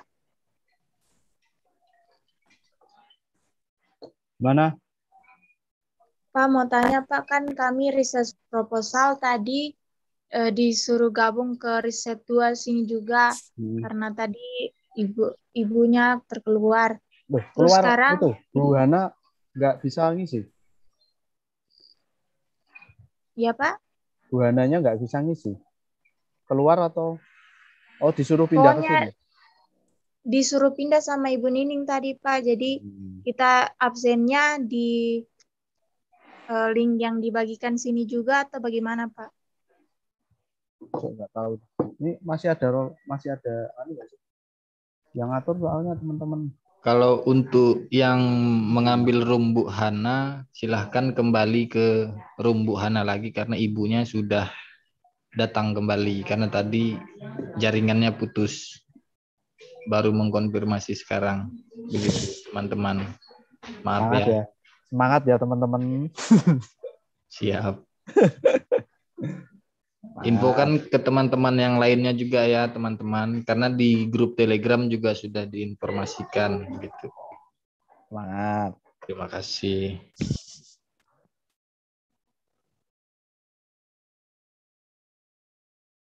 Saya live ya, Zah.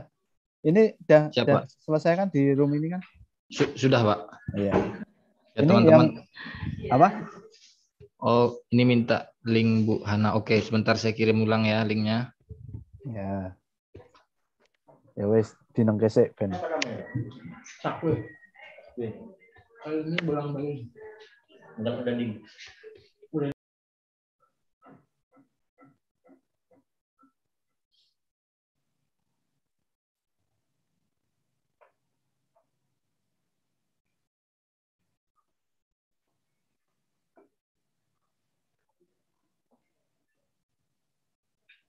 Ya linknya teman-teman di kolom chat.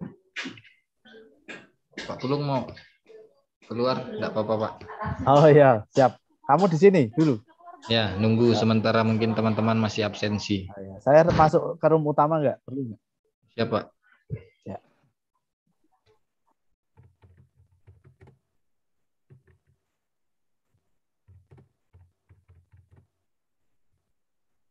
Eja. Ya gimana?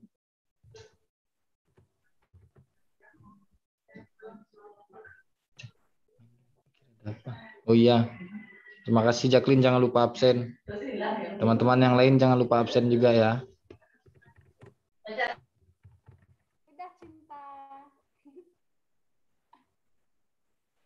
Iya, Ejaku.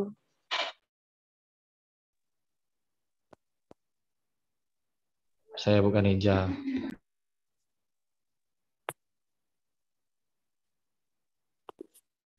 Coy, nama ibu tadi siapa, coy?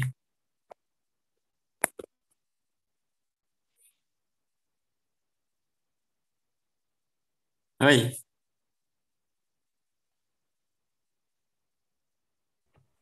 Ibu Ina. ibu siapa? Nggak kedengaran. Yang ada for Inahunga. Yang ada gelar dokter-dokternya.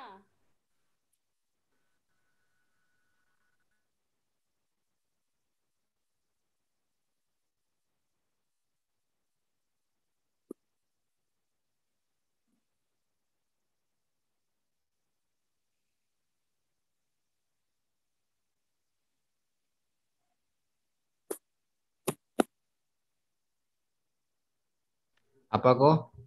Nanya apa kok? Nama ibu tadi. Nah, bentar ya nanti aku tulis di kolom chat. Bu Ina, Ina Hunga. Itu bukan yang sebelah ya, Ibu Ina. Iya, Inahunga. Yang sebelah Ibu Ana, Hana. Ah, pakai H. Ini Bu Hi- Ina.